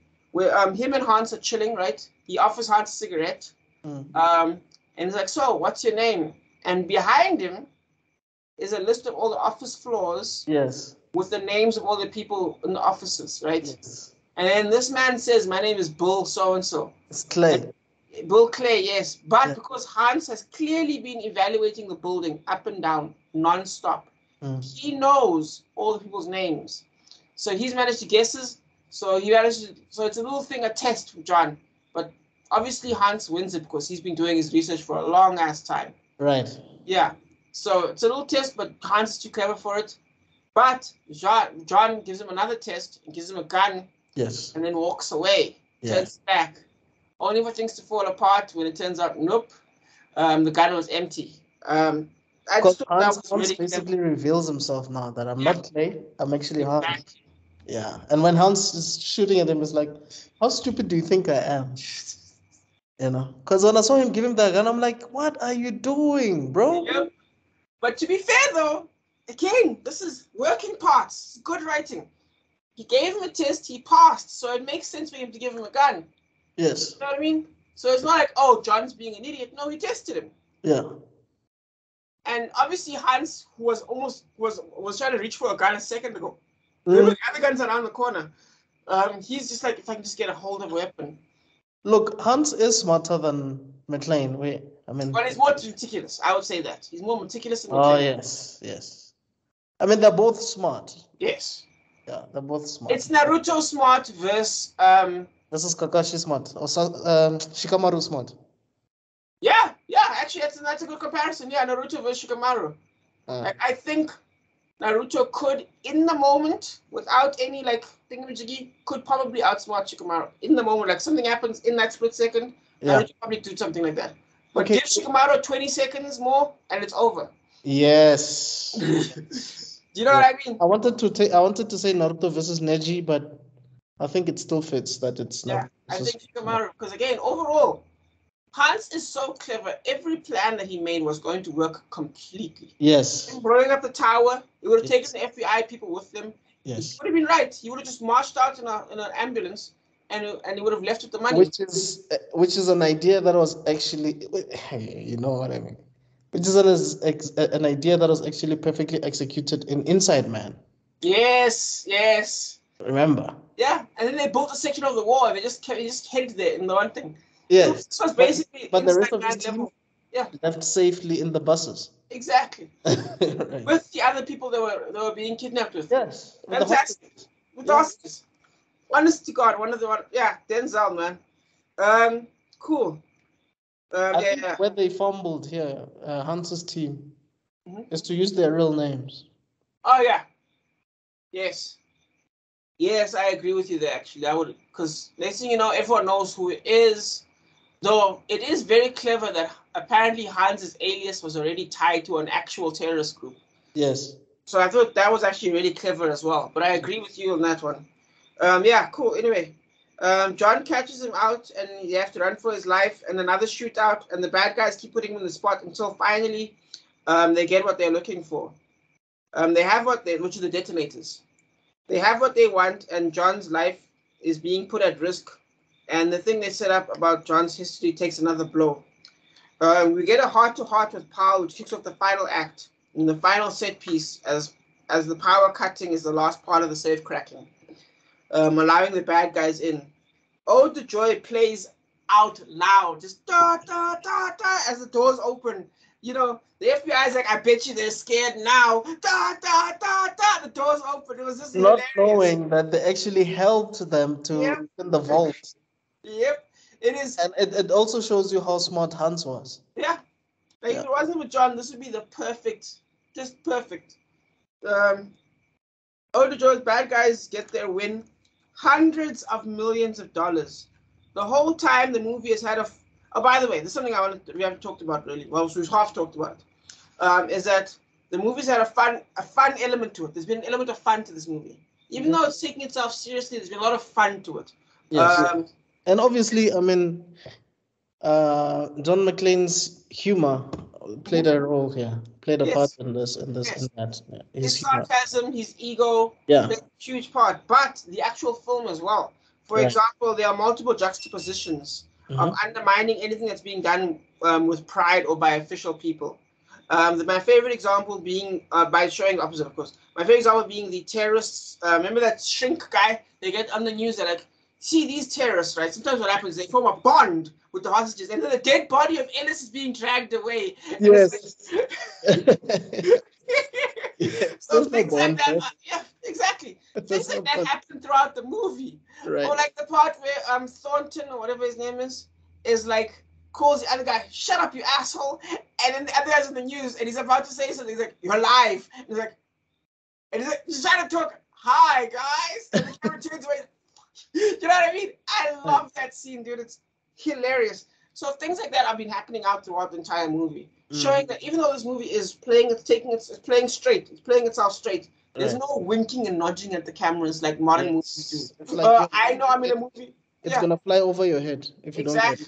Yeah. Exactly. You know me. I hate that whole "oh, I'm in a movie, you're in a movie, we all know we're in a movie" thing. I hate that. Mhm. I hate it as well. But anyway, yeah. So I just thought that was a nice element that's been playing out throughout. Yeah. Um. Cool.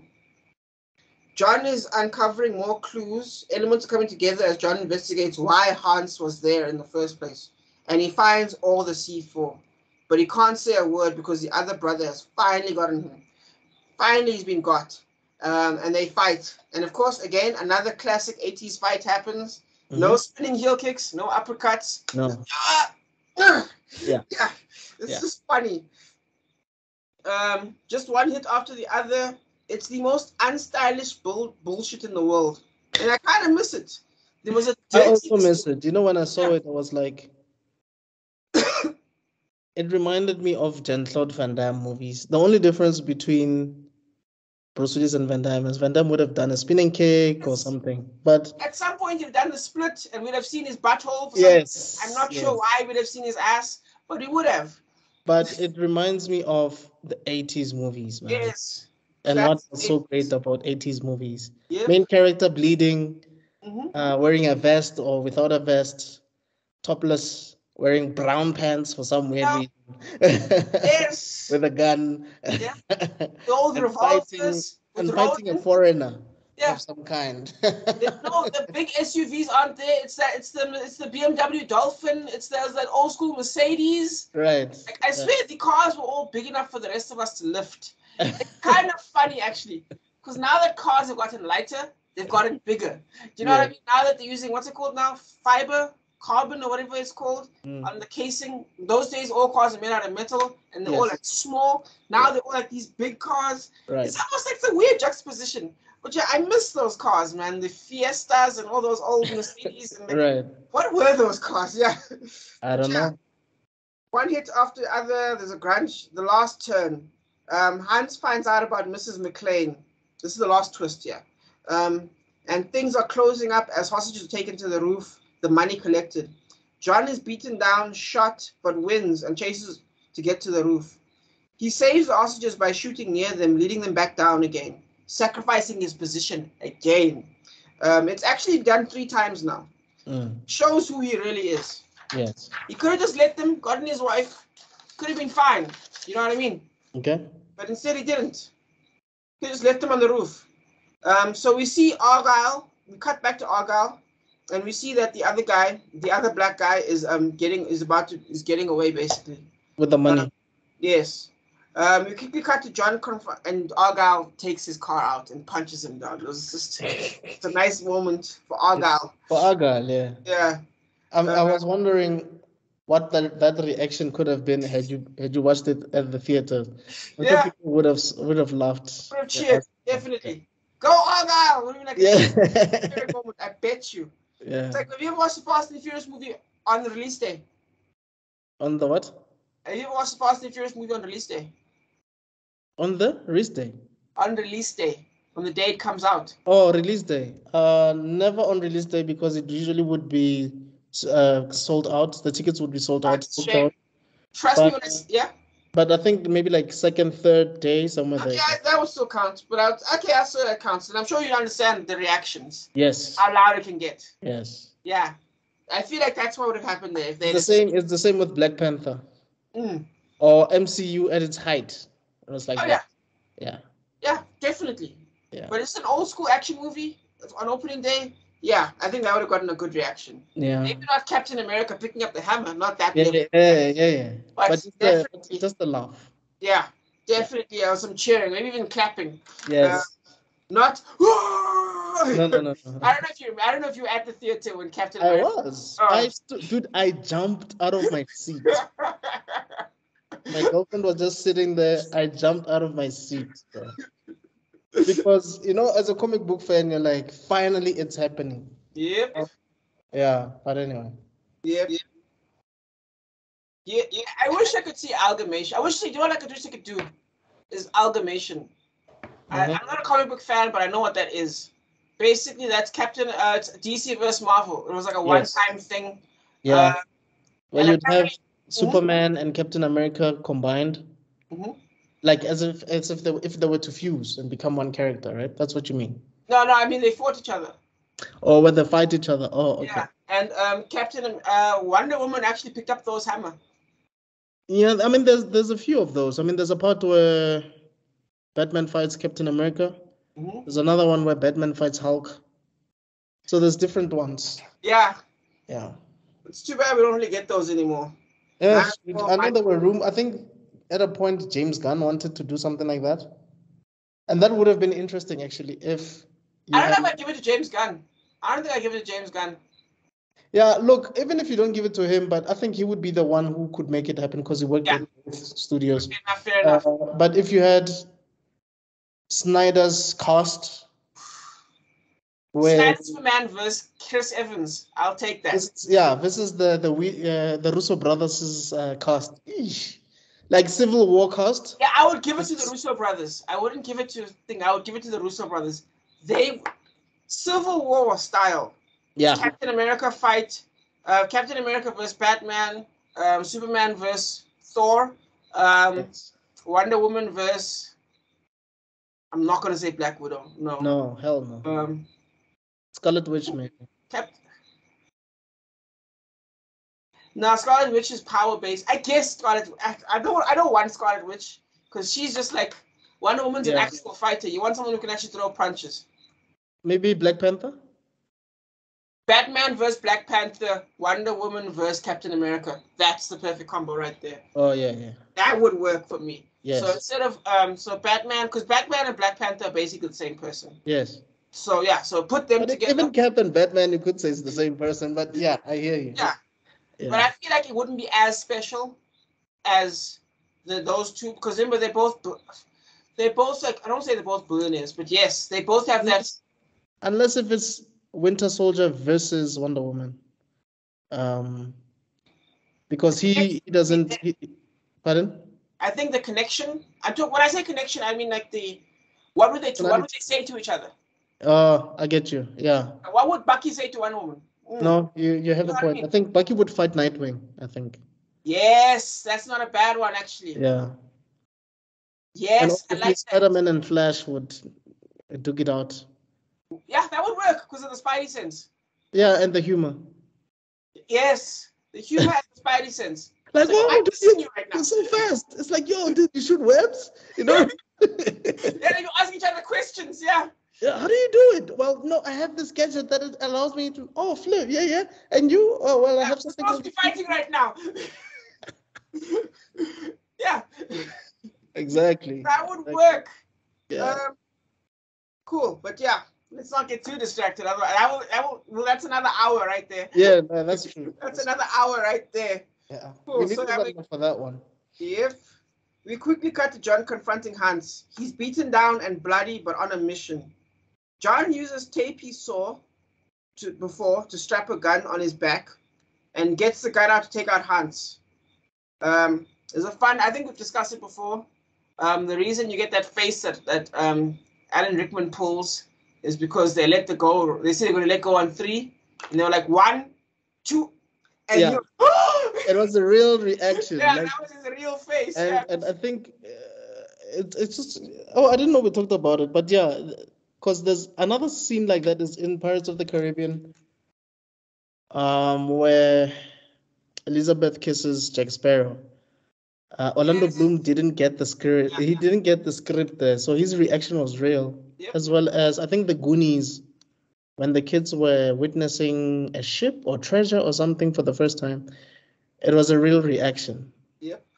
So, yeah, I think that's why that reaction is so great because you can see that Alan is really petrified. Sometimes you can't fake it, bro. Sometimes you can't Yeah. fake it. yeah. It's actually a funny story on TikTok right now. Um, basically, um, what's his name? Um, Scorsese movie, um, DiCaprio, Wolf of Wall Street. Yes. Mhm. Um, what's the character? What's the guy's name again? Jordan Belfort. No, no, no, no, no. Um, the actor, the one that plays the friend, the chubby friend, the Oh, one Jonah played Hill. by Jonah Hill. Here we go. There's a scene where Jon Bernthal, you know Jon Bernthal is, right? Yes. The Punisher. Um, apparently there's a scene where um, they punch um, him um, punch um, Jonah Hill, right? Mm, But now they were doing the scene like five times and it just wasn't looking good for Scorsese. And mm. Scorsese's like, guys, what if we punch each other for real? and Jonah Hill's like, this nigga goes to the gym every day. What the hell are you talking about? Dude, it's the Punisher. What do you mean? Yeah, You know? Exactly. But then apparently, but because it's Scorsese, you don't exactly say no to him, dog. You're trying to win an Oscar here. That that impersonation was spot on. Guys, um, you know what I think? I think we should uh, allow John to punch John. yeah. The perfect uh, way to uh, for us to get the, the reaction that I'm looking for. And then yeah, apparently he let him have it, dog. Like he really punched him like harder than because apparently like something had happened and Thingamajig was really hyped up and upset. So Yeah. he really like gave You know what? It's like it's it's similar to to Fight Club. Edward Norton actually punched uh, Brad Pitt. That's why after that punch, the ear, he's like, dude, why? yeah, yeah, that, that would make sense. Because Yeah. that was a weird punch, and these reactions like yeah, that was actually real. It was not. that, that makes sense that that's real. Yeah. thing is, you can't do everything real, obviously. But sometimes when you can get away with it, get away with it, I guess. Yeah. I'll never say no. Yeah. But yeah, um, cool, cool.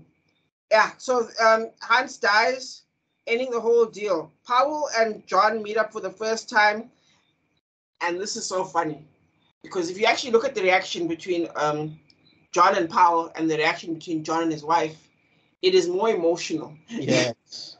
Um, the reaction they have is so great. I think There's it's no- because he had so many near-death experiences while Powell was on the other line. Yeah. Uh, that they have a they have an They have unbreakable a bond. yes. Yeah. They have an absolute bond with each other. There, there's no words spoken. They just look at each other, they laugh, and they hug each other, dude. And it's beautiful. Just, just the wife on the side. Um, But they didn't even ask each other who they are. It's like they oh, they just knew. knew. Yeah. And to top it off, um, Powell gets his moment of redemption along with McClane as he uses his gun for the first time in a long time. By the way, McClane's moment of redemption is when they have that dark part of the soul section where um, John is where um, John is giving the goodbye speech where he's like, "If I don't make it, please tell Yeah. my wife I'm sorry." That Yeah. was his moment of redemption. Right. remember, he said it himself. I can say I love you to my wife a thousand times, but I've never said sorry once.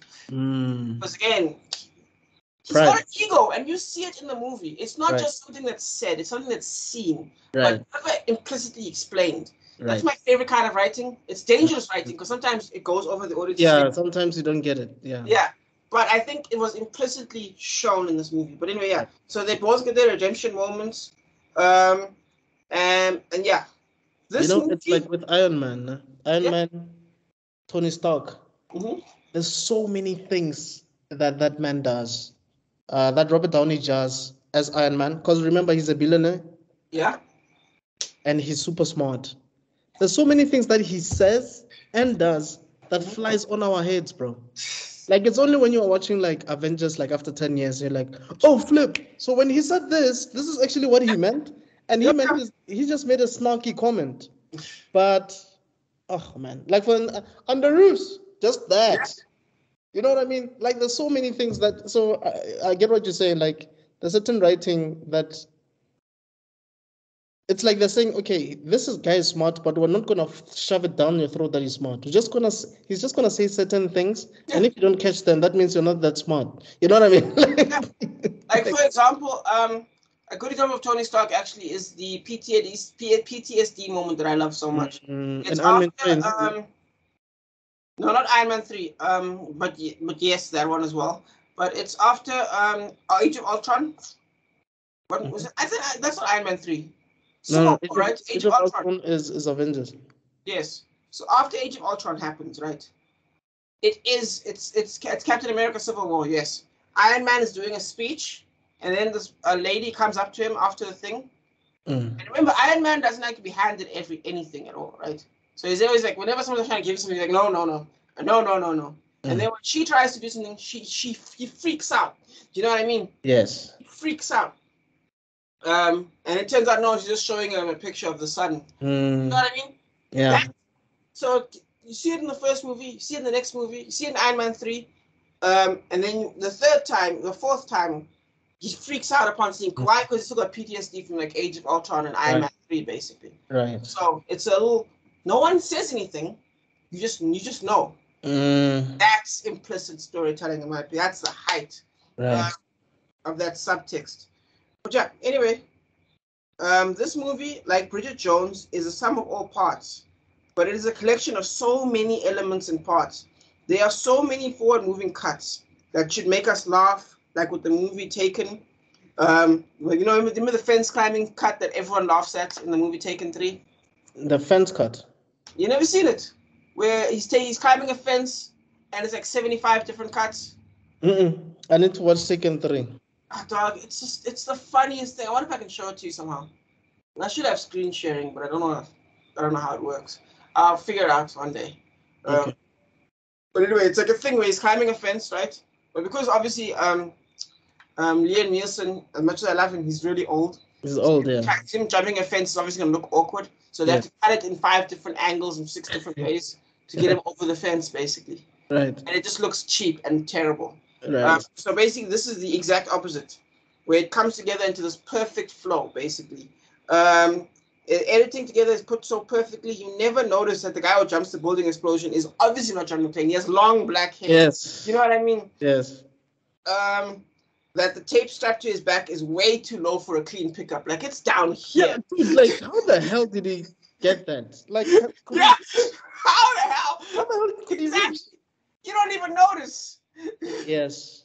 You don't even notice because But I think that's the thing. I think I don't know if I spoke to you about this, but back then movies that didn't rely heavily on special effects relied a lot on the story Yeah. and the performances. the action. Yeah. But but they were not in as much as they tried their best to be per- perfectionists, Yeah. they made a lot of mistakes, which you could say were still tolerable at the same time. Yeah. David Fincher wouldn't have survived in the 80s. I think he would have he would have had stress every single time he made a movie because people didn't care Yeah. enough to It was too expensive. That's why Jackie Chan says it's too expensive to shoot a film in Hollywood because Even James Cameron, he Yeah. wouldn't have made it. Like I know he started making he started making movies in the 80s, Mhm. but I think he just barely made it. He just maybe made it when it was fading out, but I don't think he would have survived for the most. definitely, I think CG saved his life. But also, don't forget, David Fincher is actually as, uses almost as much CG as most people, actually, as most. Oh yes, that's true It- because of the face thing. No? Not just that. I'm talking about little things. he will put CG there because again, instead of him doing 50 takes, he can fill up the gap with CG sometimes. And he'll Uh, do that. Actually, no, he'll still do 50 takes because the Yes. performance requires 50 takes. right. but if there's something he wants to add on or make it perfect, he'll use CG anyway. Mm. And Uh, he's, yeah, he's very good at that. I never actually second guessed Yeah. his CG at all ever since. Yeah. You know the Gone Girl? Mm? No, not Gone. Yeah, no, no, not Gone. Girl with Dragon Tattoo Yes. has as much CG shots, the same number of CG frames as the movie Godzilla. That's how much of a perfectionist he is. That's crazy. That is crazy. Yeah, but yeah, definitely. But yes, I agree with you. What they would do is, it. I call it. I call it the Sasuke method. I, I, now I know you know Naruto. Yes. For those who don't know Naruto, right? Sasuke has been trying to kill his brother for the longest time, right? Mm-hmm. But his brother says you have to learn a special technique, an Yeah. eye technique, um, the Mangekyo Sharingan, Sharingan, right? Sharingan, yes. Yes. And the special eye technique requires you to kill your best friend. Yes. um, Sasuke never does that. So instead, what he does is he deliberately overpowers all his other moves to make that to render the one move irrelevant, so he can Right. overpower it. Right. You understand what I'm saying? Mhm. So now, what happens with a lot of these 80s films, what I think what they did, why they still hold up to this day, is Mhm. they would do the other things they couldn't do Yes. way better Yes. and with so much more energy Yes. that you don't even think the stuff we've talked about right now. This is nitpicking to the highest level. One hundred percent. Yes. It's nitpicking to the highest level because the, what they're doing is like this. Yes. But nowadays, some of our modern movies are so serialized, or so perfect is not the right word. They're so what, can you call it? Standard, I guess is the word. Yeah. It's That's- it's it's it's too much of a. It's too much of showbiz there. It's it's too. almost too clean, almost. Yeah. It's too. It's as if every director is pedantic now. It's exactly. like yeah. it's so clean. They're taking so many shortcuts that it's so clean that you don't even notice it anymore. It's It like feels like it's done via Chat GPT. I'm sorry to say. exactly. Yeah. It's like the same way that I can't. You can't. You know how you can technically you can see your nose all the time, Yeah. Yes. but because because you see it all the time, you don't see it anymore. Yes. That's the problem that we're having. That is a weird ass example, but it's true, right? You, but I get what you're saying. Yes. you see it so often that you don't see it anymore. Yes. And that's one of the problems that that um this movie does not have. Like it's this movie holds up today, dude. Like this is great. I mean, it does. It does. Yeah. It reminds me of, you know, like I'd put this movie, I know it's not on the same scale, but I'd put it with Speed and Lethal Weapon oh, definitely. because these are movies that you can watch over and over Yeah. and over and over. Yeah. And each time you watch them, you're like, oh, flip, I didn't see this the last time. As far as I'm concerned, speed is die hard on a bus. Basically, You know what I mean? But yes, small I- scale, but not necessarily small scale. Like a lot of big things happen in a small Yeah. scale situation. Hundred percent. These are great Yes. beats. Um, but yeah, um, this is edited. Um, um, the parts are done so amazing that you end up with a whole that is better than it has any right to be. Right? And the music, the motif, everything comes together. Yeah, it's insane. So for And me, we, we, need to talk about Bruce Willis's charm, man. The dude was just charming, like no one's business in this. Will Smith, he was playing into himself. He wasn't trying to change. He was trying to play Yes. himself. Yes, I, I think he was relatively unknown because, well, I think at the time he was doing like he was doing a comedy, right? Yes, that was it. And then he did some weird movie called Hudson Hawk. Even though I like it, a lot Right. of people don't like it. It's that weird one where he goes to Italy and it's like a bank robber. He's like a not a bank robber, but like a paint thing. He has to get Leonardo Leonardo da Vinci's thing. It's a Mm. very weird movie. I recommend it because for me it's a pet like what that, that's it called not a pet peeve, Pet peeve. a guilty pleasure. It's a guilty Oh, pleasure. Okay. Uh, I'll watch it, even though I know it's not that good. But it's called Hudson Hawk. Oh, absolutely love it. But yeah, then it was Die Hard, yes. and his career just skyrocketed like that. Six Sense. I mean, I almost want to go over it again. Um, Yeah, yo, he. I don't know what he did after. I think he did Die Hard too, but by the time he did Die Hard two, was he was a millionaire, bro. Like, oh, yeah, oh no, definitely, he was a Yeah. legend at that point. yes, Unfortunately, Die Hard Two was a bit of a What can you It say? felt like a it felt like a repetition of the first movie. You know Yes. those, those sequels that feel like the first movie. Yeah, but you changed. But now they're wearing shoes. Like yeah, or or uh, the guy is not British. Is is like Russian or whatever. yeah, that's the difference. Yeah, Whereas Die Hard Three was a complete change of pace, which I thought was man. That, for me, that's why that's why if you remember my rating, I said Yeah. it's this one, then it's three. Yes. because I feel like three. one three. Yes. Because I feel like with three, it's like for me that's the a real sequel. Yep. Um, where you see Jeremy Irons is the next best thing after Alan Rickman. How they speak, they sound like brothers. Yes. yes, you're right. you know, Oh, Uh, get this. The comedy you're talking about is moonlighting, right? Get what, this. is it Moonlight? It was before. No, it was during Die Hard. So it was 1985 to 1989, and Die Hard was 1988. Mm. Oh wow. So you can imagine when he went back to that sitcom, Mm. he must have now gotten a higher. yeah. It's it's kind of like with Will Smith and Martin, because Martin Yeah. was doing Martin, Will Smith was doing Fresh Prince. After Bad Boys, Yeah. I'm sure they started getting paid way more than they of did. course. Uh, definitely. Yeah. But I was wrong about Hudson Hawk. Hudson Hawk came like 10 years later. Never mind. It was a later movie. Oh. But yeah. Yeah, he done twi- he done a lot of TV stuff mostly. And then yeah, no, no, you're right. Um, there was a movie, but it was ga- it's all garbage until Die Hard. Yeah. So yeah, Oh. and that's Yeah. what blew him up. Yeah. It's kind of like with Robin Williams. Remember Robin Robin Williams did a comedy. Mhm. Um and he was just the breakout character and then he started doing movies. Oh yes, you're right. Um, I know what it's. Oh, fudge. I know what you're talking about. Where he has, like a striped jersey. Uh, He was an alien or something, wasn't he? I don't remember. yes, some like elf type thing. Yes, you're Yes. right. Alien. Yeah. Yes, because he can just do that. Yeah. He was just that damn good. Yep. And last last Boy Scout is here. Yes. uh, With Keenan, right? Um. Yeah, the Wayans brother. Yes. Yes. Um. Or was it Damon? I think it was Keenan. I think you're right, Keenan, not Damon. Not Damon. Yeah. Yeah. But anyway, yeah.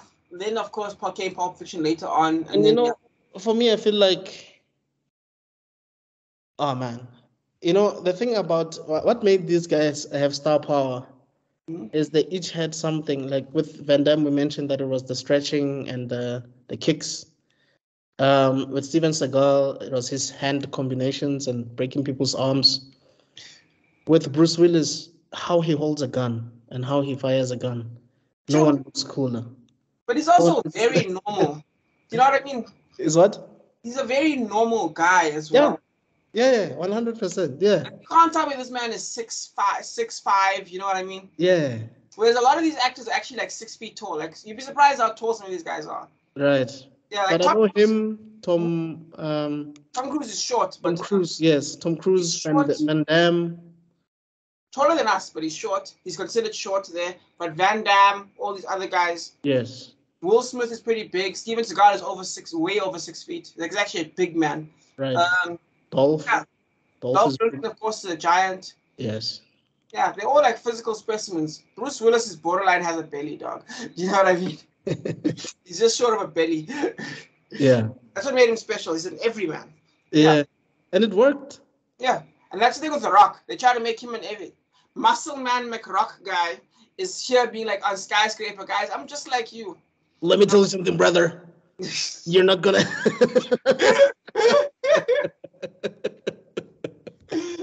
I don't smell what you're cooking, bro. I don't. I don't smell it. I'm sorry. I just don't. It's too. It's too expensive. but you get what my point is. Yeah, Sometimes just yeah. be. Obviously, when you Keanu Reeves, a beautiful, tall, you know, specimen, right? there. Handsome man. Exactly. Him playing John Wick makes perfect sense. But in Die Hard, it would make no flipping sense. It's like you know. It's like um. It's like if Adam Sandler did an action movie, and became really successful in it. Yeah. and started doing more action movies and was still convincing. That's exactly what happened here. Basically. Same thing. Same thing with uh, Michael Keaton. Michael Keaton used to do comedy, and Yeah. then when they called him for Batman, they were like, "What?" There were even petitions, dog, like Beetlejuice. who-" Yes. You know what I mean? Like, Getting- no. Comedians make the best drama. No one will ever convince me of this, dude. No, that's true. No That's one will ever convince me of anything else. Yeah. They I'm can- that one. I think it's about timing. Timing is a skill, Mm, and um, drama gives you so much time. right. What I mean, like you get to sit in the moment and wallow. Whereas Yeah. comedians, like even in Bridget Jones, everybody said jokes per minute because Yes. you know you gotta you gotta throw in there's a there's a skill Mhm. element to it. That's why Jackie Chan works because well he learned that Chinese opera stuff. You know that probably taught him a lot of timing, and then of course martial arts taught him a lot of timing. right. So that probably combines nicely to make a little combination. Chris Tucker, same thing. You know, like there's a big difference between Smokey and Mhm. Carter. Yes. You know what I mean? Yeah. Carter is funny, but when he's serious, he's serious, Yes. and you take him seriously. Absolutely, man. Yeah. But yeah, that's my tangent. Anyway, I give this a nine out of ten. What about you? Yeah, I also give it a nine, man. It's crazy. Like it's it's one of the best. Like ah, I enjoyed every moment of this movie, man. Every moment of it, I enjoyed. It is a- Obviously, yeah, you do see some extras here. You see that this extra is not McClane or whatever, and there are moments where you feel like, no, you could have died here. Yeah. You know? I mean, Hans could have died. He did not fake that accent. Yeah. Yes. Um, and also, I feel like even if you fake the accent, can't you hear that this is Hans? Like the voice. Well, I don't know, man. I remember that other guy when he when he was talking to the policeman. I was like, oh damn. I was like, that's that's a good that's a good accent right there. Oh, and the thing is, Hans is multilingual as well, Yeah. so he can speak Russian and whatever. So yeah, it is convincing actually. But I mean, I still get what you're trying to say. No, I, I agree with you on that level. But no, Yeah. I But I guess if it's, if it's people that you were speaking to, that you just met today, maybe it's not so easy to recognize their voice. Yeah. Because everything everything happens in one night. true. But remember, the Brits sometimes have some of the best accents, though, don't they? They do. I mean, look at Kick-Ass, we just talked about earlier. Dude, Dog, Idris Elba in um The Wire. dog. You know what I mean? Yeah, even the other Um, one he did where Denzel Washington shoots him. Gangs of New York. Is it Gangs of New York? No, no, it's um not Gangs of New York. It's um King King um not Kingdom Come man. Um American Uh, American Gangster. American Gangster. There we go. You want to kill me, Frank, in front of all these people? You want to kill me, Frank? And then he sits down and has breakfast, dog. Like nothing happened, dog. Dog. Yeah. Movie and a half. We need to. I was thinking about it the other day. I'm like, I cannot believe that Ti agreed to be Common's child. Like, how did that, how did that happen? But I guess Ti Yeah, I has a small build, so it, it would be convincing for him to be a child. I guess. Yeah. Yeah. Hey, but But- man wanted to act or something. Who knows? Pardon? Maybe he just wanted to act. Yeah. You know that these movies where almost everybody is in, is in it. You realize that it's like Oppenheimer. Like almost every actor, you know. Dog. like, Actors you don't even understand. like, why you here? You know what I mean? Yeah. Like, like when I saw David Krumholtz, I was so happy because I'm a huge David Krumholtz fan, Okay. uh, and I haven't seen him in a very long time. So I don't know whether he was really wearing a fat suit or if he gained weight over the years, but it was really good because the last time he really played a genius on that level was in Numbers. I don't know if you remember the series Numbers, uh, where he was like a mathematician helping his older brother to solve crimes through math. Oh. Um, and he was in You Stupid Man, 10 Things I Hate About You, and all of that. I mean, those are some of the movies we'll. Yeah. I mean, But at- yeah, that kind of reminds me of um, what's his face, um, Oppenheimer, the director, um, Nolan. Christopher Nolan. There we go. Like I almost feel like he was going full Tarantino with some of the actors he was pulling up for Dark Knight. I mean, the guy that plays Maloney, like that guy shows up in like B movie straight to DVD, ETV. Meanwhile, he's out here playing one of the head gangsters. Do you know what I mean? Who, uh, there's Maroni, Maloney man. and there's Falcone. Who, who, are, who are you talking about? You know? Was there's Eric Roberts? Yeah, Who- Eric Roberts, that's his name. Eric Oh. Roberts is is a I don't want to say a B level actor, but this man does C movies. He doesn't even do B movies anymore. This is, you know that he is, I think he's Julia Roberts' brother or something, right? no ways. I'm telling you, Eric Roberts, Google it, dog. I think it's related to. Uh, she's a bad sister. If if Eric Roberts, is you know, you know what people don't realize is Eric Roberts was a big deal at a point, eh? like in the like 80s maybe, but this, Yes, and then he started. You remember Best of the Best? um, nah, I don't know that one. You don't know Best of the Best, dog. Ah, but yeah, dude, You, you see it now. No, you googled it, didn't you? I look at my, I look at Eric Roberts right now. Yeah, Yeah, Maroni. Here we go, Maroni. Yeah, is is related to to Julia, isn't it? uh, I'm looking it up right now. I'm not seeing anything yet. Yeah, he's he's the brother. He's Julia Roberts' brother, and his child is Emma Roberts. You know Emma, Emma Roberts. Huh? No, do I? Do you know a movie called We're the Millers? How about that? He is actually a related. Yeah. Yeah, and his daughter is actually a, an actress as well. Oh, Mm, you know his daughter. Trust me, you know her. all I'm saying is this woman could have gotten a better jobs. He was in. He was in. Um, in Oppenheimer. Yeah, because yeah, because once once you're friends with Christopher Nolan, he doesn't let you go. Yeah, that's true. I think, but I think it's also safe to get. But you know what I've noticed about Christopher Nolan? He's very smart. There are some people that he doesn't. He makes sure not to include in the same movie. Like he, if he was to get Christian Bale, he wouldn't get Leo. You know what I mean? Yeah.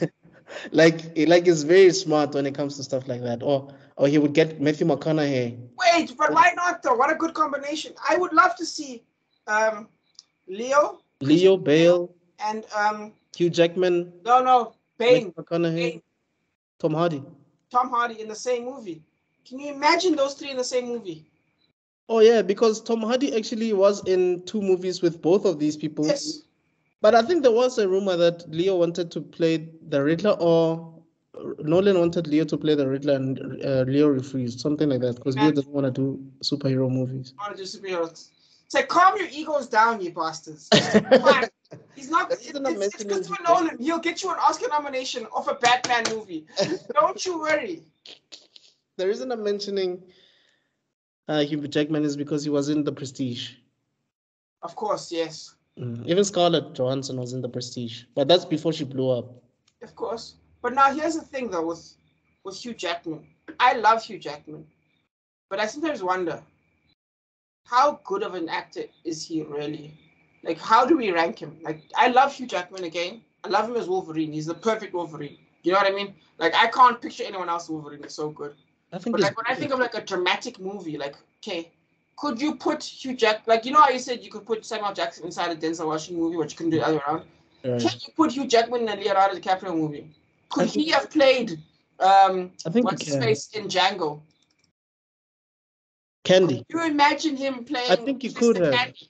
I, I dude, I can't. I, you know why? I've have His you watched American accent would sound like garbage, number one. Has Have you watched Swordfish? yeah, of course I have. You don't think his performance was great? Le, Le Miserable. Swordfish. I didn't even know he was in it until you said it right now. He's the main character. Halle Berry, yeah, I forgot.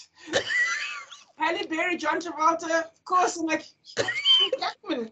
Have you watched um, Le Miserable? Le Miserable. Of course, I hated it. Not I because it's- I'm not talking about the singing part. I'm talking about Okay.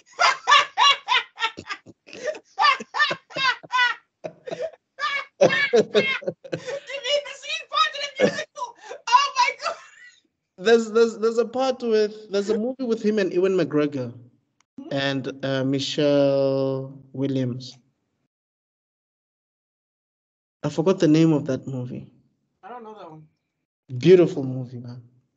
Again, I'm not saying he can't act. Don't No, I get you. I get you. I'm saying, and I'm not saying he's not a good actor. that he, he cannot pull off. Yes, I mean, there's a reason he's never has he even been nominated for an Oscar. I don't think so. Yeah. No, again, that's not technically a thing, a sign of greatness. Again, he's great. He's one of those guys where you can't deny that he's great. Absolutely. But he's no he's, he's no Joaquin Phoenix. He's exactly. He's no Joaquin Phoenix. Even though I've still have to watch Napoleon. Even though people have been ripping. Hey, uh, people are saying that it, I mean I was Yeah. watching an interview with Patrick Bet David and he was saying yo he was miscast. Yeah, that's what I'm hearing. Yeah. Like, first of all, Napoleon was like 35 years old. What the fuck is happening? This man is 50 something years old. Right. and he was, and plus, Napoleon was in his 20s through most of his major achievements. Mm. And you got a 50 something year old. I'm gonna need you to calm down. Isn't it like similar to how they cast Colin Farrell for Alexander. Like that's Wait, the worst oh. person to cast as And at Alexander. least Oliver Stone had the had the balls to be like, yeah, the biggest. Okay, this, this is what Oli- this is what Oliver Stone once said. The biggest failure that Alexander ever achieved was my movie. Wow. Man hated his own film. Uh, Credit where credit is due. Man was like, nah, this isn't it. and everybody actually thought that that movie was going to become a hit, including Yeah. Of course, um think about it. Colin Farrell was on fire. yeah, he was doing like SWAT, he was doing the recruit, Yeah, he was in Daredevil. he's a good actor, but I think oof, this is actually something I'm, I'm struggling with Colin Farrell as well. Because again, once he if he plays his language, I think he's a better actor. Or the, the Uh, Irish Bruges, and um, what's it that one with? with it's, it's Irish, right? He's an Irish. I think yes, he's an Irishman. Mm. Um, there's another one that, is, that that just came out now. I've been watching scenes. from. I haven't watched the whole movie yet. Or with his friend, the guy from the the, the also in Bruges, yeah. yeah, I, I, where, they're friends or something. right? Yes, and the one's like, I'm not, I don't know your friend anymore. Yes. I watched this whole scene of him, dude, just having like this little thing. I'm like, whew, Brilliant. whew, I don't know what the story's about, but I feel it, dude. My man, like Colin Farrell for me, I think also he was miscast a lot. I Yeah. think I think Hollywood uh, focused too much on his looks, Mm. and they tried to make him an action star instead of focusing too much on, you know, like with Heath Ledger, for instance. Heath I was gonna say Johnny Depp, but yeah, yeah, Heath Ledger, yeah. Heath uh wanted they wanted to make him a heartthrob. Mm. He refused. Mm. You could say the same thing. uh, Had Colin Farrell refused, we could have seen he could have won an Oscar early. Yeah, He could have won. 100%. I mean, thing phone with Keanu Reeves, yes. phone Keanu Reeves, yeah, you are alone in a booth. That's Yeah. like if we take out the the other people's dialogue aside, yeah, he is alone in a phone booth. yeah. And he had to hold his weight. Yeah, He had to put that's his carry a movie. yes, and he I did. don't want to see The Rock in the phone booth. Yo, I know. The hate you have for The Rock is is, No, is I think I like The Rock. I, I I love The Rock so much, but right now him bailing out of him bailing out of um what is the movie Shazam? yeah. Shazam two. Mm. What's wrong with you? His beef. Okay, no, actually, I understand. He- I'm actually on his side with his beef with um Vin, Vin Diesel. I think. Look, if Vin Diesel's gonna show up his, on his own time, you have every right to be mad. Do you know what I mean? right. That's fine. But and oh, but the fact that this man has clauses in all his contracts where he has to like look good. Yeah, you, you, you can't you can't punch him more than five times, Yeah. and The that's fact- the that's the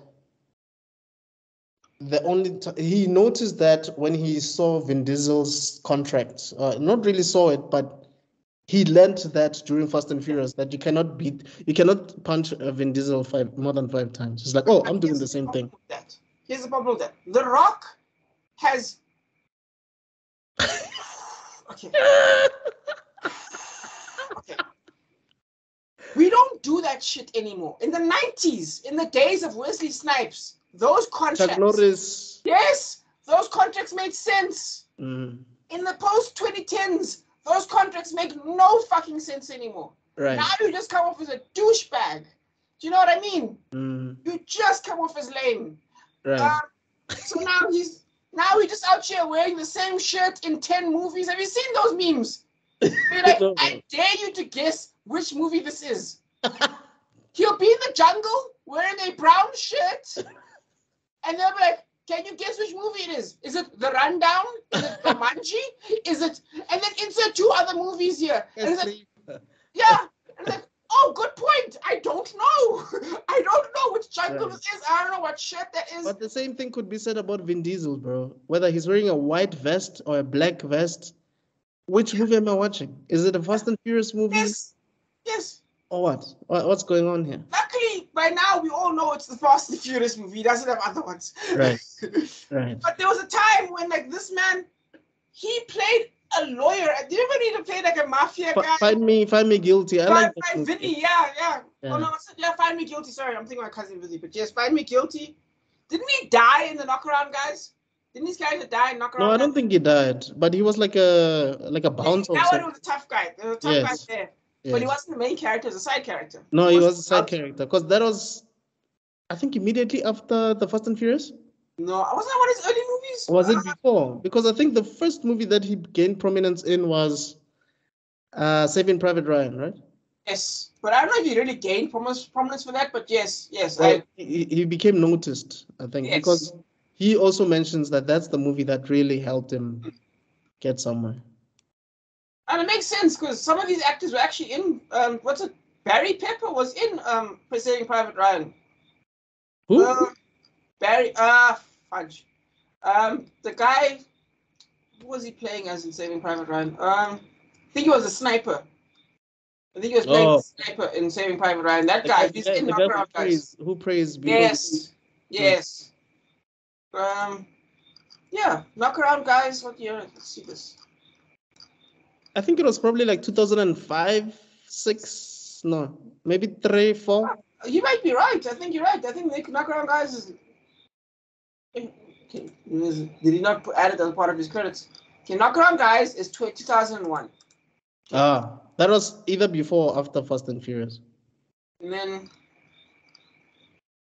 Because he was like the muscle, right? He was like yeah, the thing. Triple X is 2002.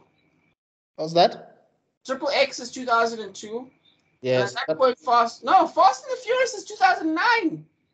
no, That can't be right. no, no, no. That's that's the fourth Fast and the Furious. The first Fast and the Furious, I think it came out in 2000 or 2001. How does it stop here? Uh, let me check quickly. Yeah. So 2001 as well. You're right. So same year. yeah, so so Saving Private Ryan was 98. yeah.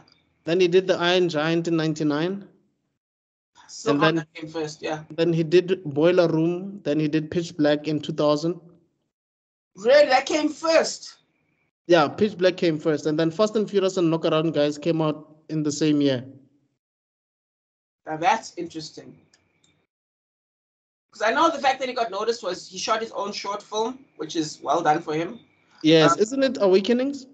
Yeah, some weird name. Yeah, No, no, sorry, um, that's I've not. seen it. That's It's- not the one. I think it's it's silly. multi Multi-Facial. Mm. I've actually watched that one. I actually I watched it from beginning to end. It's kind of funny. It's it's like a it's like about his life, right? It's basically yeah, it's basically a thing about his life, Multi-Facial. You're right. You he, basically it, say he it's like- directed it, he produced it, he starred in it. Yep. Even the music. yes. But that's amazing, though. He took a huge risk on himself. Eh? I actually saw a YouTube video that was basically uh, talking about how he he basically invested in himself. Ah, I think I may have seen the same video as you then. Yeah, I through. watched the movie. I wanted to see what it was like. I want to check it out. Is it good? No.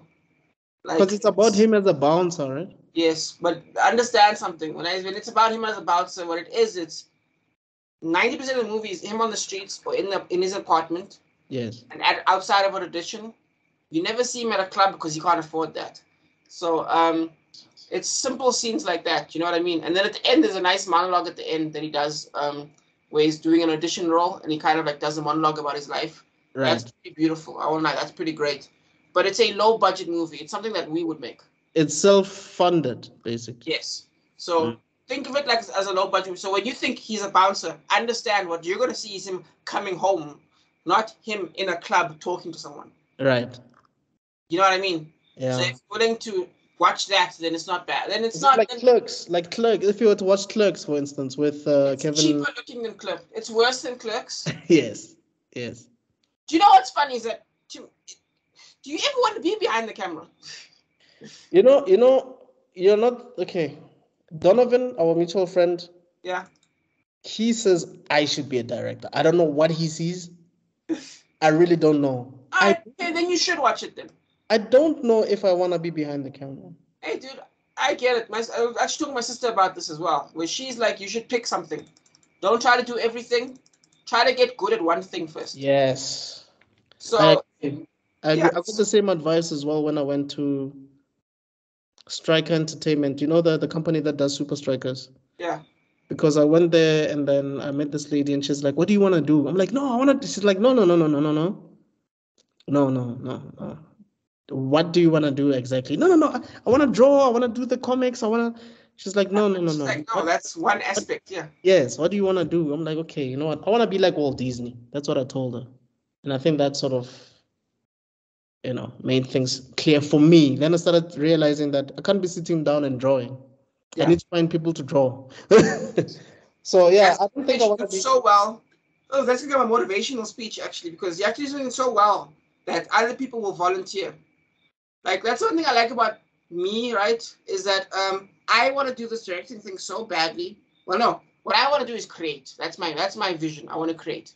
Right. So what I want to do is create worlds. That's what I call it. right. So what did I do? I try to take take up programming to try and make worlds in video game universes. So what I do, I try to take up comic books, my drawing. So I try to do it there. Yes. Try to do it there. Yes. And I realized my most effective tool is pen and paper. So I'm focused there. And Right. what that that got so I did I focused on that so much that I got actors to volunteer to work with me. Like do you know what I mean? Yes. If you do one thing well enough, people will show. That's Especially what- that's some true. out there. Yeah. Actually, what you're saying about the pen and paper, that's something that Akira Kurosawa said. Because I remember there was a video that there was an interview that he did a long time ago. Yeah.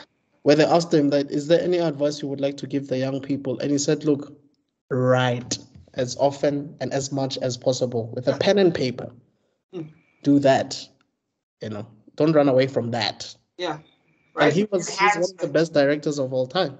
Absolutely. Yeah. Yeah. But anyway, I mean, Yeah. This was talking- a cool tangent. I like this. yeah. But anyway, guys, let us know what you guys think about Die Hard. Um, we gave you our thoughts. We give it a nine out of ten. We really, really love it. Yes, it is a Christmas movie. Sometimes I feel like it's not, but I think Rob Yeah. convinced me that it actually is. I mean, the, there's even a joke where um, uh, Vin Diesel, um, sorry, Bruce Wayne is like, no, Bruce Willis is like, are you gonna play some Christmas songs? Those guys are like, this is a Christmas song. What do you mean? Yes. you know so yeah guys let us know what are your what are your thoughts is Mhm. this your favorite die hard movie from the franchise who do you think would have um, been the best actor to replace Vin Diesel if they do a reboot i think that's a question that maybe we need to throw out See, there Vin Diesel. Ah, i keep saying Vin Diesel i keep you know in in even if when we're not talking about this Yeah. I have a bad um I don't know what to call it, a bad habit of mixing Vin Diesel and Bruce Willis. I don't know why. But it's it's, it's boldness. Now I'm going to be added to that list. added to that list. But anyway, yeah. Uh, who do you think would have replaced Bruce Willis in this film if they were to do a reboot? Let us know. Um, and yeah, don't forget to like and subscribe. And thank you so much, guys, for watching. Dude, uh, Police Story is doing over. T- it's it's two thousand uh, views now. What damn man? on the, on the other channel. On the other channel it's 57, but on this other channel it's it's 20 it's it's over 2000 views. So thank you so much. Yeah, thanks guys. Yeah. Much appreciated. Yeah.